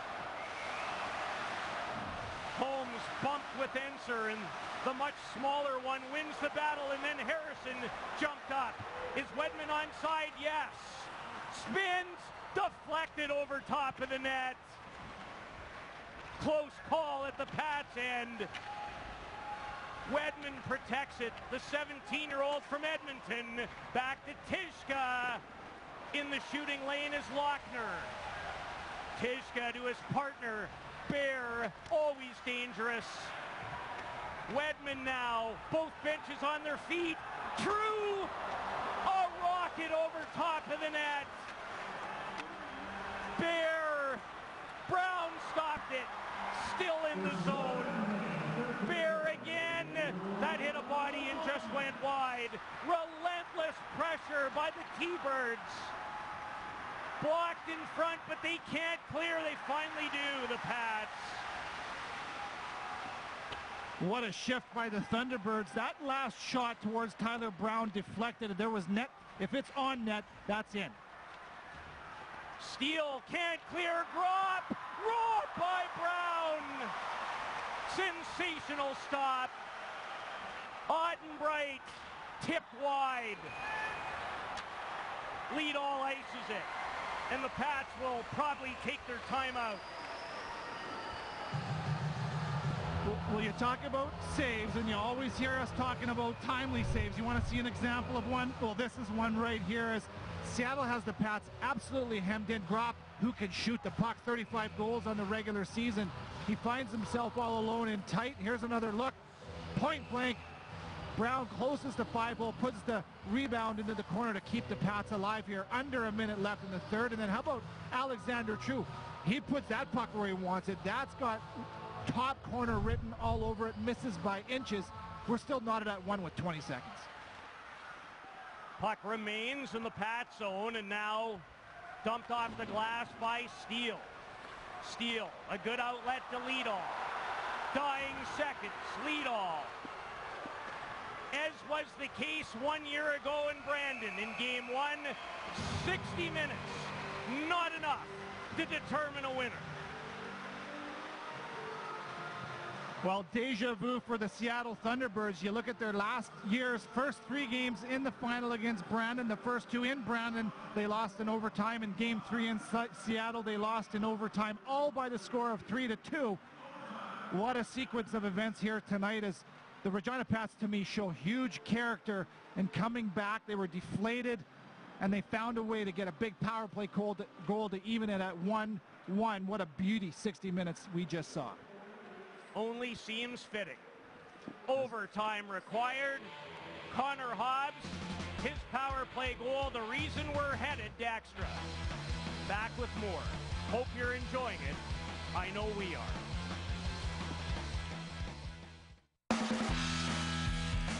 Before and after the game, Tony Roma's offers casual family dining.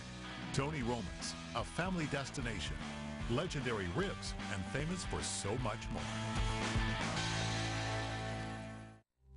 with the scholarship program the WHL um, produces for us players is, is, huge and it helps us just kind of not worry about the money aspect of it but just focus on the school and, and your hockey and um, makes it a lot easier on a student for sure.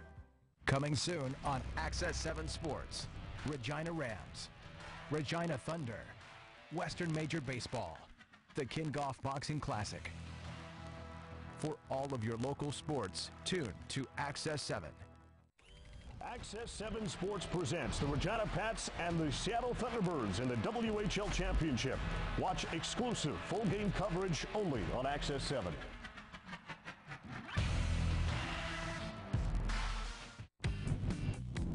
Join the conversation. Tweet at myaccess underscore CA. Like us on Facebook. Subscribe to our YouTube channel to find out what's new on Access 7. Come join a Canada 150 celebration as the RCMP Heritage Centre presents the Tattoo Royale. Two spectacular performances May 23rd and 24th featuring the world-famous RCMP musical ride. Music, dance, masked pipe and marching bands, police and military displays, and an array of performances and entertainment for the whole family. A Canada 150 celebration Tattoo Royale featuring the musical ride. Presented by the RCMP Heritage Centre May 23rd and 24th. Tickets now on sale at the Brandt Center box office or online at Ticketmaster.ca.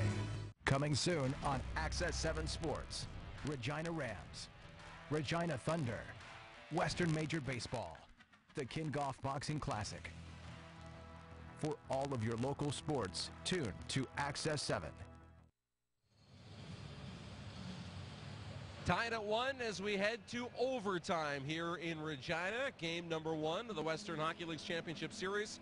As we welcome you back inside, Darren DuPont with you and joined with the assistant of the Regina Pats, Brad Herauf. And Brad, uh, at one point, did you ever think that this kid wasn't going to allow any goals at the other end of the ice?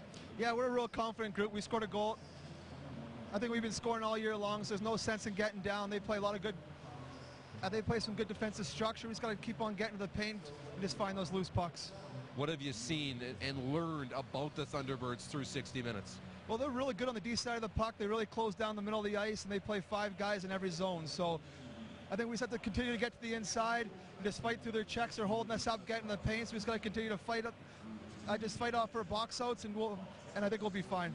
How tough is it managing the lineup without Adam Brooks? You've done that at times already in this postseason. It's playoff hockey, so I think every team goes through it. Uh, so we're not going to make any excuses.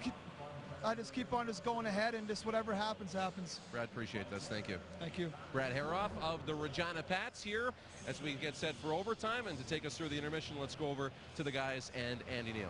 All right, thank you kindly, Darren. Big thanks to Brad Herauf for joining us as well in the intermission of OT. And like Peter said, just like last year, in fact, the first three games of the 2016 WHL Championship went to overtime, and Brandon won all three of those. But a doozy so far tonight, Joey. Been a fantastic hockey game for 60 minutes. You know, three different games in many respects over the course of three separate periods. A pretty tentative opening 20. I don't think anybody should be surprised at that considering they haven't seen one another since October.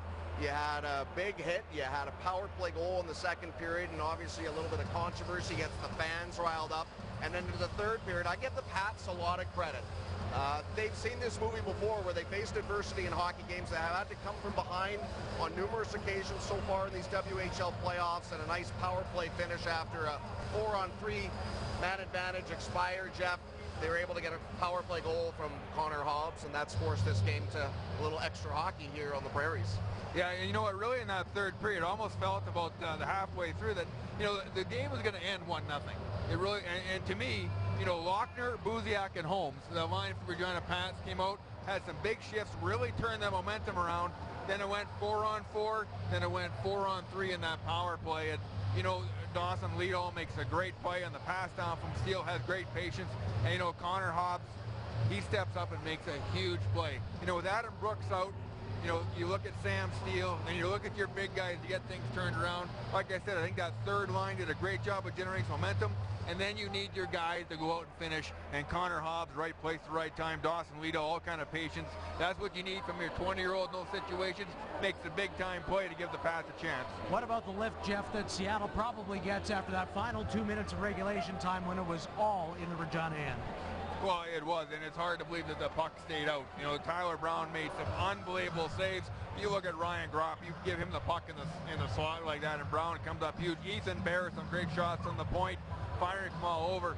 So, you know, Tyler Brown, you know, he looked like he may be laboring, maybe favoring that one leg. He took a hit late in that third period, but he came back strong and made some huge saves in the last minute. How, how nervous do you think John Paddock is with Tyler Brown after the collision with Donovan Neuls? I, I don't think a ton, considering the big-time stop he made off of Gropp when it was in the dying minutes of regulation. And usually for Gropp, who scored a lot of goals in this league, that's been money in the bank for him in his Western Hockey League career. I think that probably not only settles Brown down, but more importantly, it settles the players in front of him down because they could see him laboring in pain after that uh, altercation in the crease. And uh, I, I think that what does him some good is he gets a chance to rest here, get a little fluids into him, and, along with both teams here, uh, a, a well-deserved breather here before we start overtime. And Carl Stankowski again wow. continues to amaze. The one got by him, really no chance on the Connor Hobbs shot, but the youngster doing it again for Seattle. 31 saves for this hockey team, and you can't fault him on that power play goal against. You know, we're talking about something this league hasn't seen in a long time. I think you've got to go all the way back to the year 2000 when the Kootenay Ice wound up winning the WHL championship and going to their first ever appearance at the MasterCard Memorial Cup. And you know who their goaltender was back then? A 16-year-old rookie by the name of Dan Blackburn. And obviously the Ice didn't go on to win the WHL crown that, or they, they did win the league title, they didn't win the Memorial Cup, but that's asking a lot for a kid that is now technically 17, but he's in his first full season of eligibility for WHL play, and he looks well mature beyond his years. Wait, he's not only played tonight, but this is what the Thunderbirds and their fans have been seeing all spring. Oh, well, really, even go back to that first period, he made some huge saves. Nick Henry with a one-timer in the slot. Filip Ahl had a one-timer in the slot. You know, Brooks and Steel doing a good job distributing the puck in the third period. Move on Austin Wagner with a short-handed breakaway. And the thing is, it doesn't seem to phase him. He just looks like calm. He expects it. He makes the save. Okay, game on. Keep playing. You know, it's my first time seeing him play live, and I can't tell you how impressed I am with his composure and just the ability he has to come through in big moments. Regina assistant coach Brad Herauf talked about trying to get to the inside of Seattle's defense. What's impressed you about that Thunderbirds back end, Jeff? Well, probably the size and their mobility. You know, you look at them 6'3", 6'4", and you think, okay, they're, they're tall, they're lanky, they're not going to be able to move the puck, but it'll slow a foot. Not the case. So many times that puck comes from down low and up high, they're able to walk the line. They got their heads up. You know, they've had a few shots blocked, but they've always got their head up. They're moving their foot. They're shooting for sticks. They're shooting for tips. You've seen Turner Ottenbreit with a shot off the backboards on a, on a set play looking for a rebound. You know, this Seattle D a lot more offensive skill than given credit for. I think Ethan Bear takes up all the credit for the offense, and don't get me wrong, he deserves every accolade he gets but I think there's so many guys that are underrated. Tyszka, you know, he's a guy up in the play all night, can skate. He took a shot off the foot, wondered if he was coming back. He came back in the third period, didn't seem to miss a beat, but just his speed, you know, Hyman's ability to play defense, very, very impressed with the way the Seattle defense plays. Speaking of speed, Austin Wagner. Uh, a lot of it to burn. And boy, he's just fun to watch in person. You know, so many of us have only been able to watch him on television. To see this kid live, up close, he is one of the fastest players that's ever played in this league over the course of its 50-year history. I'm not kidding. And Jeff, you had a lot of guys that you played with in your day. Uh, they would have been just looking around. Where's oh, he's already behind me. Um, not to say that you were one of them, Jeff, but uh, Austin Wagner has definitely been, for my money, the most dangerous player on the ice as far as a forward is concerned for Regina. And he's a little unlucky not to have found the back of the net so far. And where he is at his most dangerous, it seems, in these playoffs has been when his team has been shorthanded. He's had a couple of golden opportunities tonight. Stankowski has been equal to the task, but uh, this is a player that you would think with his speed, he's not going to be kept in check for that much longer. Well, we're in uh, southeast Saskatchewan, and uh, Yorkton is starting to become the hotbed. We didn't get a chance to talk about this in the second intermission, but nine players drafted from Yorkton. You know the area well from Spy Hill. Ochapowace, many people here for Ethan Bear and his performance. Turner Ottenbreit, also from southeast Saskatchewan. But uh, Yorkton really producing some players right now. Yeah, they have, and it's really a credit to the people back there. You know, Saskatchewan people, you know, in the Manitoba Prairie people, they like to give back. And, you know, all the guys that I know that have came back from either playing pro, junior A, triple A, midget, they all get involved in the minor hockey. They really do. They give back. They spend their time coaching. And the one thing that we still have in the smaller towns, every town that has a thousand or more people, there's still a hockey rink there. So there's all kinds of ice time. You start playing hockey at eight and under, you're playing 60 minute games. You're playing full games all kinds of ice. We have people willing to go down, open up the rinks at night for the kids to skate all they want, play shinny or whatever. And I think that's something that's really lost because you know what? The most enjoyable time you have with a kid, you remember, it's when you go on the ice, you're not doing drills, you're not being coached, you're not being told what to do. You just go out and play. And that's the most enjoyable thing. And I think the kids in our area still get to do that and enjoy it. And I know he's not one to take the credit, but Jeff Odgers deserves a lot of the credit. Both of his sons, John and Dakota, went into the Western Hockey League, had very solid careers in this league, and now are pursuing their collegiate activities uh, in CIS schools, and you've got a lot of good coaches that you work with in your area. Uh, so that's a big time credit to you, but also the people that don't get nearly the credit they deserve for uh, being able to develop nine kids out of that one program for a bantam draft. That's quite impressive. So what are we looking for for overtime to start things off here in game one? Well, I think for the Regina Pats, you know, you, you want to come out. If you're building, you want to create that momentum. And, you know, I'm, I'm not sure if it's in Seattle Thunderbirds' minds or not, but they had a couple very tough losses on the road last year in overtime when it started. If you remember, Jace Hawryluk scores from behind the goal line, you know, for the overtime winner in game one. And then you have a shot off the end boards in game two, comes over the net, and it's batted out of the air you know, to win game two. So I'm not sure if that plays into Seattle's thought process or not. But And Regina has already won the last time they were in overtime in this very building. They did it in game two against the Lethbridge Hurricanes in the Eastern Conference Final. John Paddock will definitely be reminding them of that, and I'm sure Steve Konowalchuk is saying to the players in his room that were there 12 months ago, guys, you know what it takes. Sometimes it's a lucky bounce, if not anything else, and maybe Seattle's overdue for one of those. Well, I, I am curious. This is the fifth time in the last six WHL championships that a combatant, one of the combatants, has returned to the championship series, and the last three have won it who lost it the year prior. So how much does experience matter now for Seattle? I think it's huge, and we talked with Konowalchuk and his coaching staff after their uh, very up-tempo and upbeat morning skate today here in Regina, and how can you not use it to your advantage? You're a team that's representing your conference for the second time in as many years. You have that bitter taste in your mouth after not coming in with any hardware for your efforts in the league finale last year on home ice. They'd love nothing more in a 2-3-2 format to get this first one in the bag. It would put them in the driver's seat, but they know they've got a tough test because this building, although it's a little tame right now, guys, it'll be fired up when they come back onto the ice. This is the 12th overtime in the WHL playoffs. We'll see who the hero is. Upstairs, we go to the men calling it Peter Loubardias. Kevin Sawyer, take it away. Great job as always, gentlemen. Seattle is familiar, Kevin. If they rewind the clock, they lost the first three games of last year's Ed Chynoweth Cup Championship Series to Brandon, all in overtime. Well, that experience can't hurt. They're conditioned to be in these scenarios, and they'll remember what that felt like, no doubt about that. And I really think that they did a real nice job in the third period.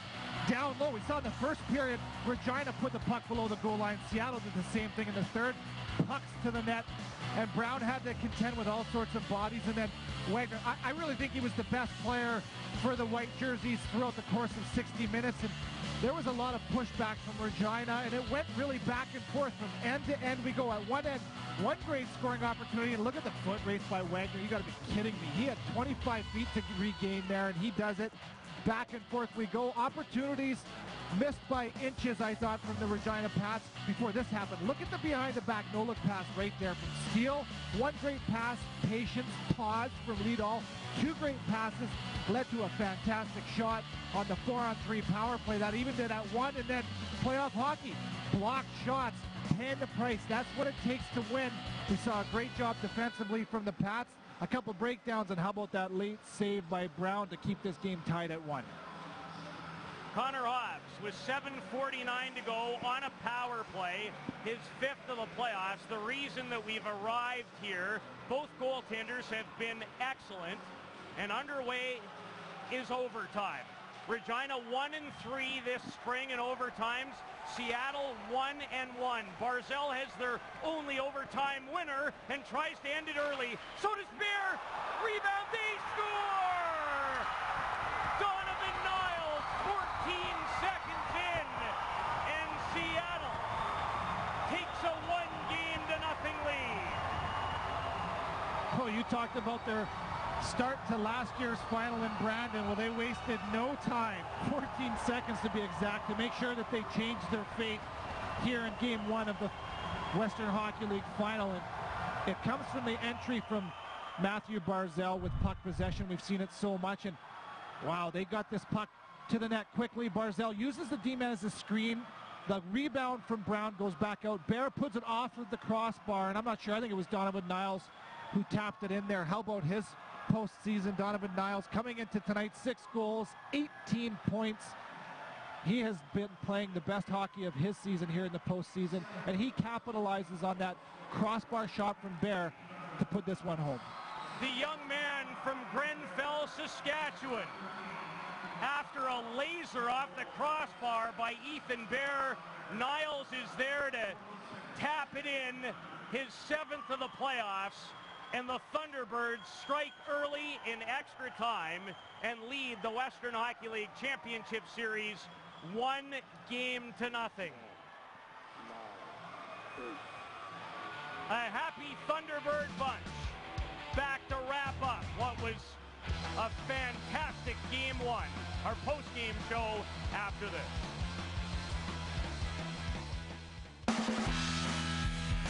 Before and after the game, Tony Roma's offers casual family dining. Tony Roma's, a family destination, legendary ribs, and famous for so much more. With the scholarship program the WHL um, produces for us players is, is huge, and it helps us just kind of not worry about the money aspect of it, but just focus on the school and, and your hockey, and um, makes it a lot easier on a student for sure. You miss 100% of the shots you don't take. But for many, just getting hold of a stick is the hardest part. That's why I'm a proud member of the Horatio Alger Association of Canada. Through generous scholarships, the association gives hard-working young Canadians who have faced great adversity a shot at a higher education. Beginning this year, our scholarships will be available to students in financial need in every corner of Canada. To learn more, visit horatioalger.ca. Hey, Mr. Rickey. Boys, I want you to meet someone. Outstanding athlete, a former second lieutenant in the United States Army, and your new second baseman, Jackie Robinson. Hi, gentlemen. Et maintenant, va donc les Royaux. And now batting for the Royals, le deuxième but, the second baseman, Jackie Robinson.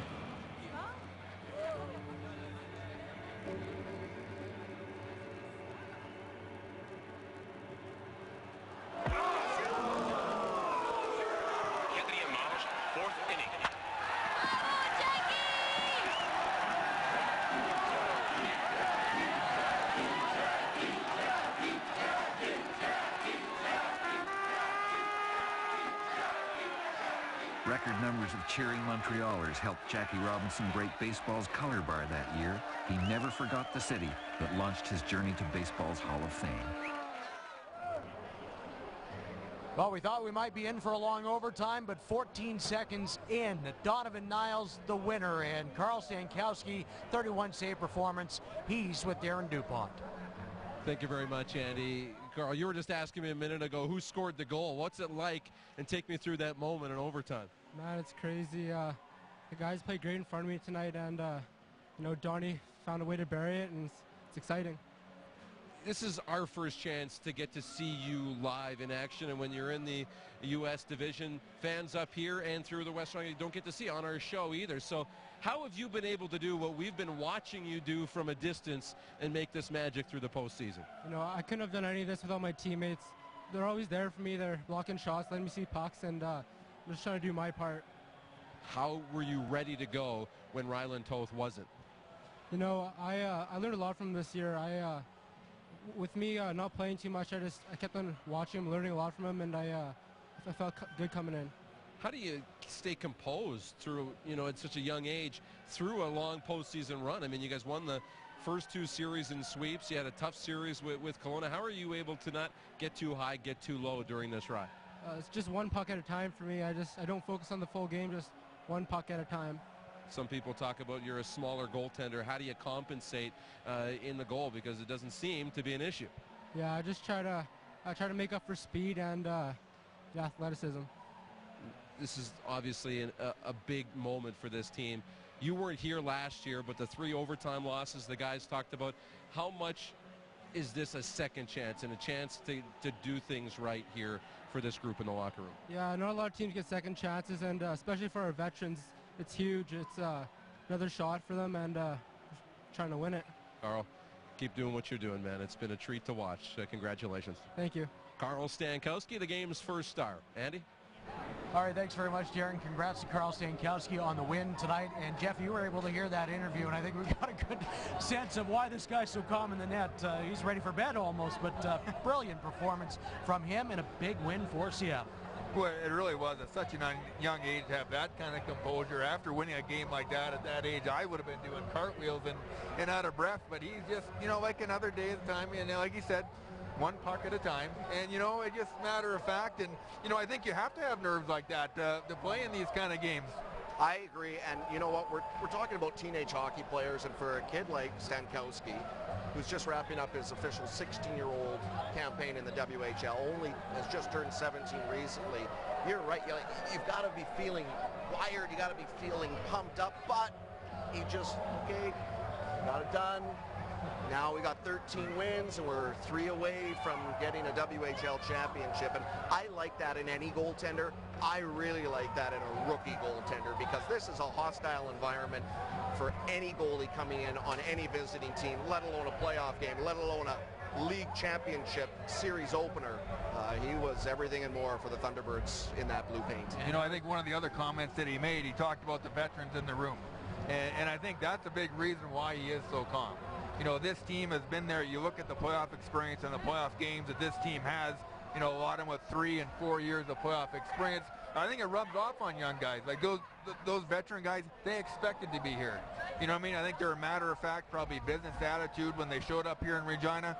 Nobody else gets excited because as a young guy, you know, you feed off those older guys. And if the older guys are calm and they have things under control, you know, you, you follow suit. I think that's a, a big reason why Carl Stankowski is able to be as calm as he is.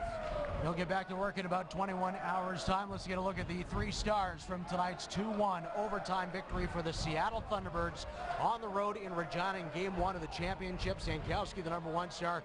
Austin Wagner, who was terrific for Regina tonight, the second star. And Ethan Bear, who ripped home the regulation time goal. And then the one off the crossbar coming off his stick, another rocket past Tyler Brown, and that led to Donovan Neuls putting it in behind Brown in Seattle. A 2-1 victory, a 1-0 series lead on Shaw and Access.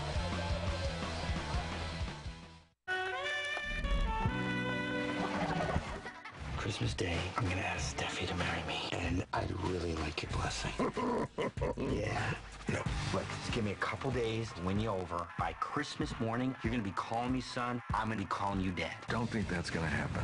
I think it's gonna, Dad. I know it won't. Dad, it will. Stop that. What, Dad? That. That. Stop that. Dad, what are you talking about? Yes, sir. Steph, you could be dating anyone. Why Laird? He makes me really happy. Be a part of the action. Learn new skills, make new friends, and have a backstage pass to local events. Volunteer with Access 7. Check out our volunteer opportunities at myaccess.ca slash access 7. Coming soon on Access 7 Sports. Regina Rams. Regina Thunder. Western Major Baseball. The Kingoff Boxing Classic. For all of your local sports, tune to Access 7. Hi, folks. It's me, Don Taylor, way up here with my friend Murph. At Levitt Machinery, they sell, lease, rent, and service all these machines, and they offer certified training. Need a lift? Stack it, reach it, lift it. Levitt. Tony Roma's, serving its signature ribs for 40 years. With an expanded menu including steaks, chicken, and seafood, Tony Roma's is a family dining destination. Tony Roma's, legendary for ribs, famous for so much more. Well, last year, Seattle went to overtime in game one. It was Brandon that won it. And now it's Seattle, who had lost the first three games in the championship last year in overtime, but they get first blood in the series. It's Donovan Neuls with the winning goal. Welcome back to Bob Dale Gloves WHL Central alongside Joey Kenward and Jeff Odgers. But now Seattle, Joey, they've got home ice advantage. They do, with this being a 2-3-2 format. They'll play game two tomorrow here at the Brandt Center. Then the two teams will fly here from Saskatchewan out to the West Coast and get ready for game three and four on Tuesday and Wednesday night, respectively. You know, looking back at that goal, guys, you're going to give credit to Neuls for getting into that dirty area to find the loose change. Uh, you're going to give credit, obviously, to Ethan Bear for getting the point shot that went off the post. But a ton of credit, I think, Jeff, has to go to Mathew Barzal. That was an awkward-looking shot that I think surprised Tyler Brown. It was kind of an awkward blocker stop that he had to make. And that all of a sudden, you know, any shot in overtime can produce something. In this case here, it produces a rebound, loose change, and then eventually a shot, and then a rebound goal at the top of the crease. Uh, that's a, a, pretty good, smart heads-up play with fresh ice right off the get-go for Mathew Barzal. Well, it really was. And, and the message going into overtime, put everything at the net. You know, you, you can't score if you don't shoot put it at the net. You never know when you get a lucky bounce. And, you know, touching on Mathew Barzal, who, how good was he tonight? Like, how quick Excellent. are his feet? You know, behind the net, in and out, one-on-one coverage. He is so hard to stick with. Mind you, he did get burnt a couple times. You know, Sam Steel picked his pocket on the one where he lost an edge, came under breakaway. You know, the four-on-four in the third period had a bit of a turnover for a chance, but you know, you'll take those chances for what he does in a game. His vision, his ability, and his edges man, that is fun to watch. How he can turn on a dime and lose a defenseman. And the whole time he's got the puck, you get one guy on him, you get two, then you get that third guy creeping in, and he has that ability to have his head up, pick that guy in the high slots that all of a sudden become open because everybody's drawn to him. That's where Mathew Barzal is so effective. He hangs on that puck, draws all the coverage to him, and then distributes it so well. Well, this is the tradition while waiting for uh, the Regina Pats to come out for their post-game uh, comments after tonight's loss, but uh, this is what, what they went through in the last round, Jeff. A game one loss to Lethbridge Hurricanes. They lost that night 3-1, so they've been down this road before. No, they really haven't. You know, that game against Lethbridge Hurricanes, they came out, they got the first goal of the game. You almost thought it was over, and then they sat back. You know, Lethbridge came back, got the three goals, won the game 3 to 1.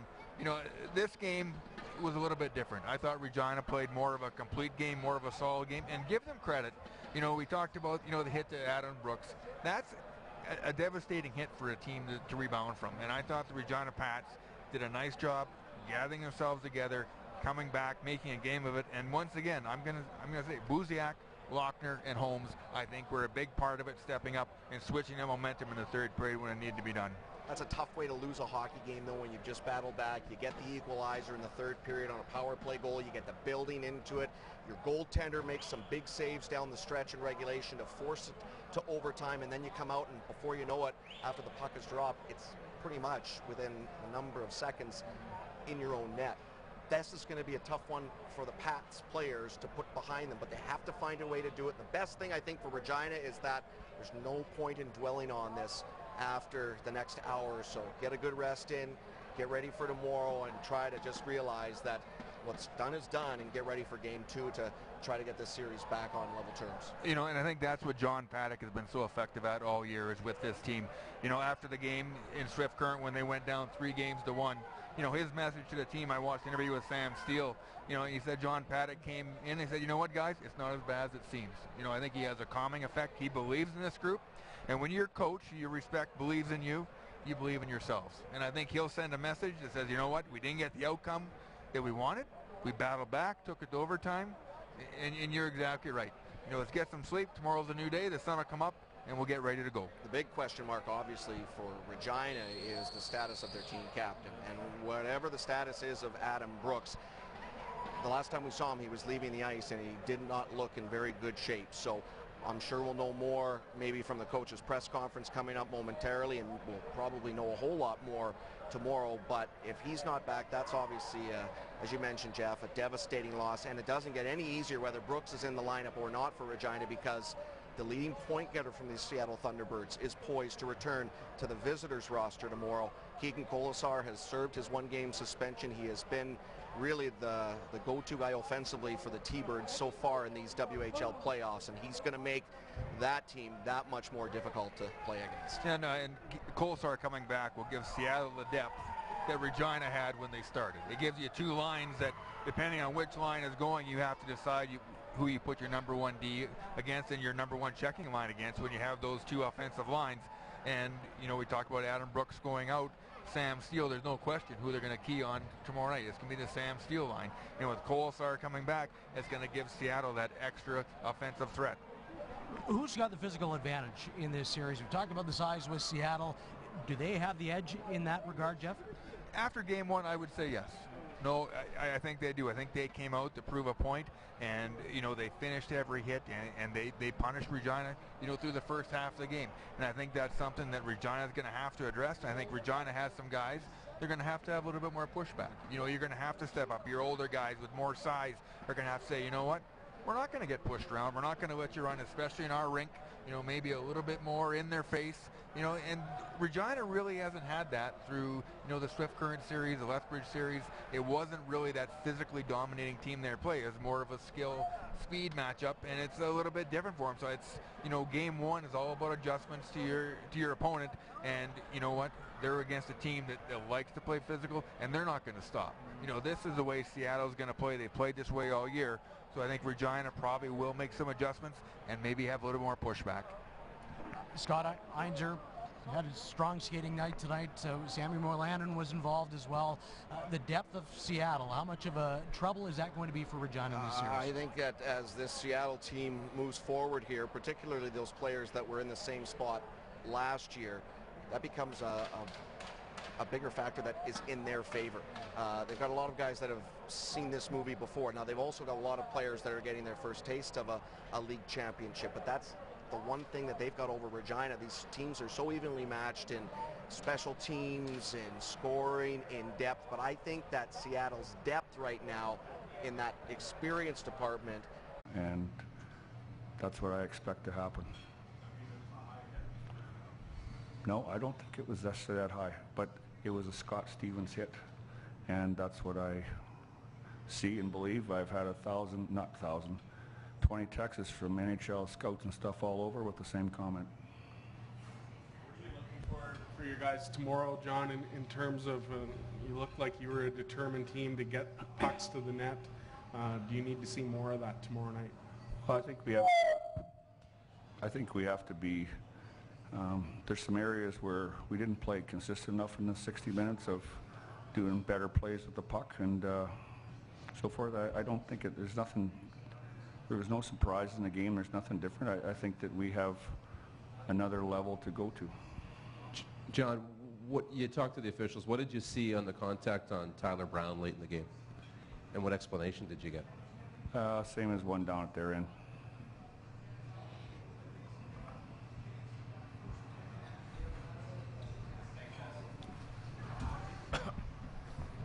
All right, so John Paddock, Connor Hobbs, and Austin Wagner, they're through their media conference. So I was the only one that was able to listen to that, but uh, the question was asked about John Paddock, what he thought of the hit, and he talked about uh, Scott Stevens, uh, famous number four with New Jersey, talking about being in the Hall of Fame for the way he played and the way the game is now.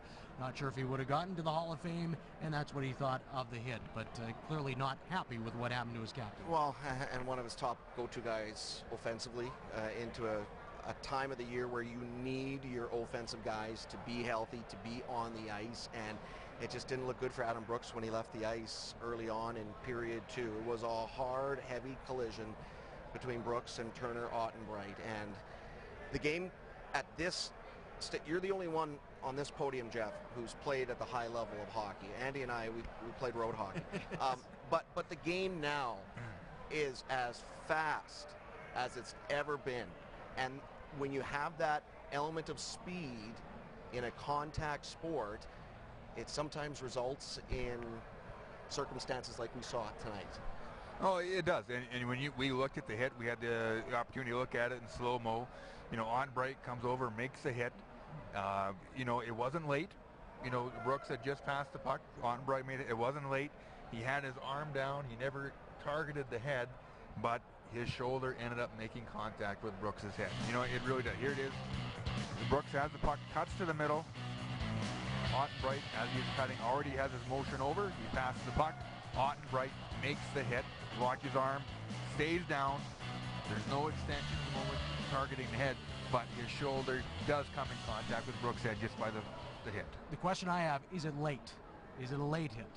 I don't think it's late. No, if you you can't even count two elephant or you know one and a half elephant, however you do it, before Ottenbreit makes it. Ottenbreit was in the process of making the hit. Brooks comes through the middle, and you know we talked about it.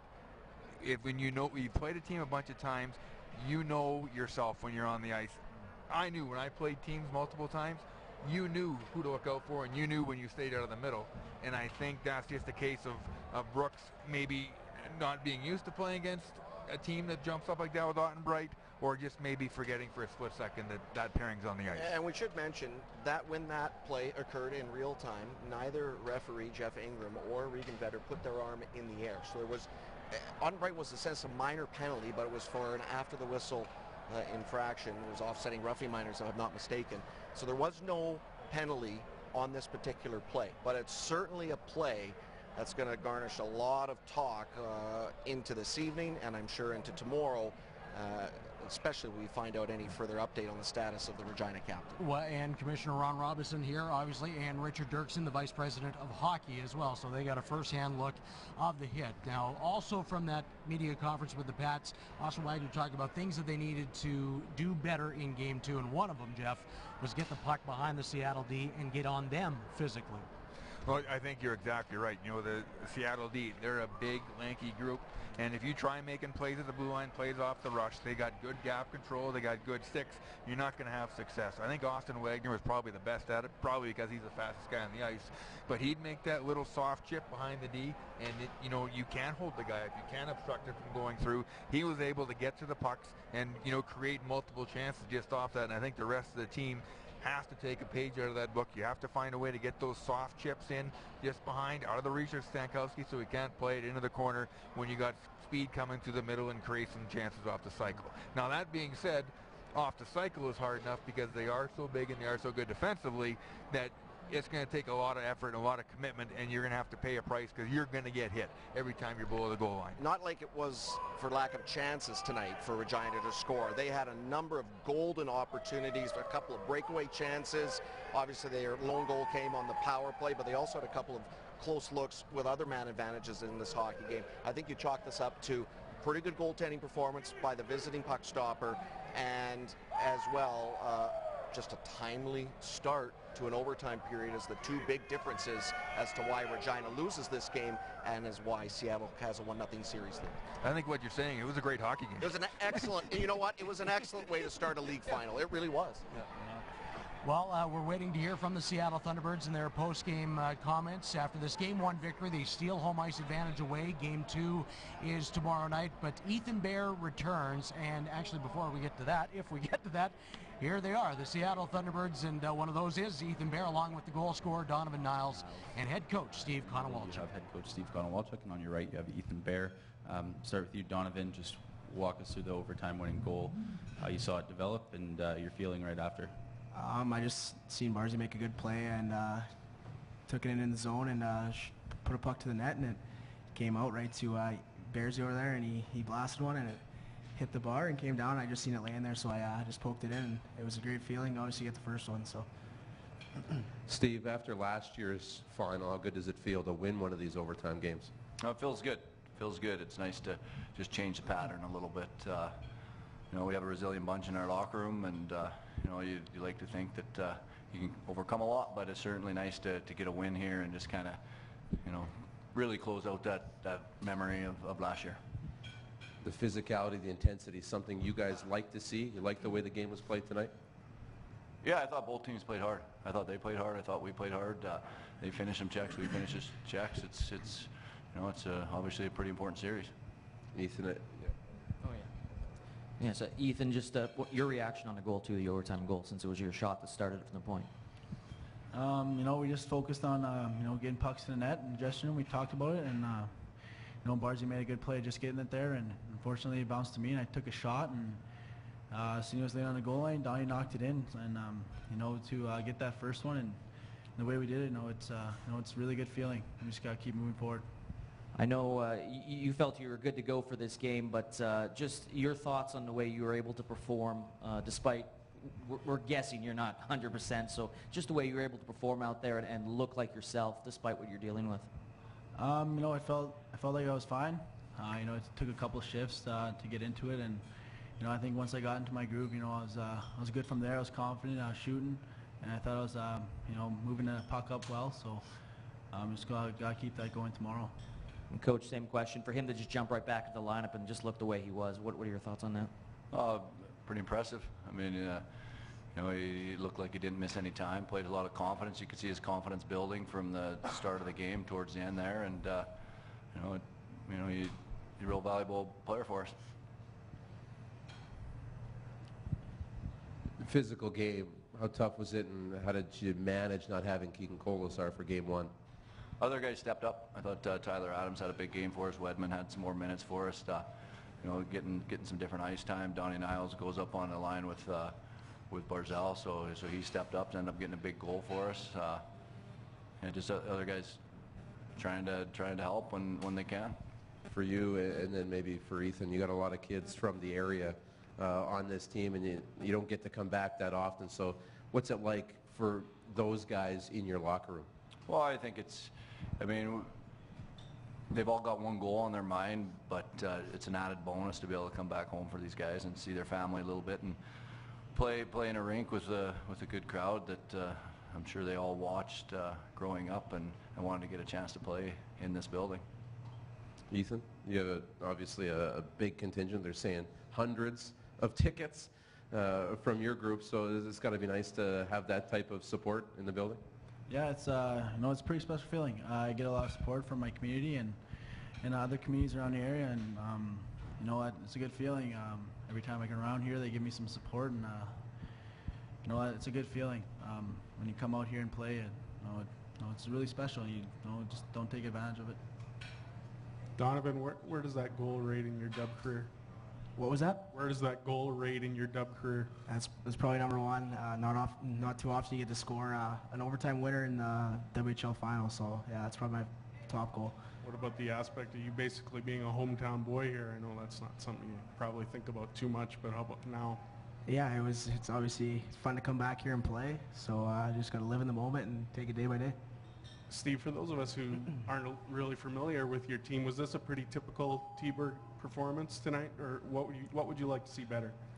I think uh, at times, at times we were playing the way we like to.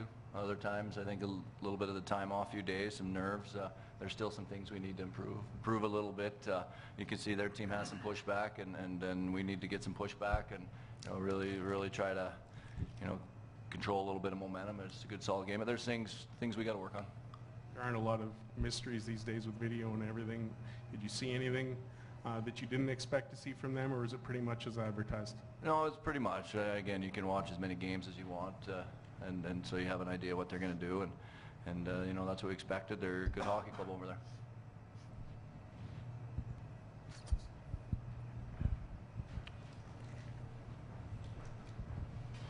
Donovan, it would appear that uh, this. Well, one of the neat things Steve Konowalchuk said early on was after three heartbreaking overtime losses last year to the Brandon Wheat Kings, the win tonight in Regina puts to bed the bad memories of the 2016 Championship Series and the five-game loss to the Wheat Kings. And now the Seattle Thunderbirds have a 1-0 series lead. Donovan Neuls, seventh of the playoffs, is the game winner. They've taken it overtime, 2-1 over Sam Steel and the Regina Pats. So the third straight series now for the Pats. They go into game two like they did against Swift Current and Lethbridge, down 1-0 in the series, but they bounce back in both with a game two victory. And game two comes your way tomorrow night from the Brandt Center starting at 7 o'clock Mountain Time, 6 o'clock Pacific with Seattle. A 1-0 series lead in the 2017 championship here in Regina. For Peter Kevin Sawyer, Joey Kenward, Darren DuPont, Jeff Odgers, and the crew, I'm Andy Neal. So long from Regina. We'll talk to you again tomorrow night for Game 2 of the championship.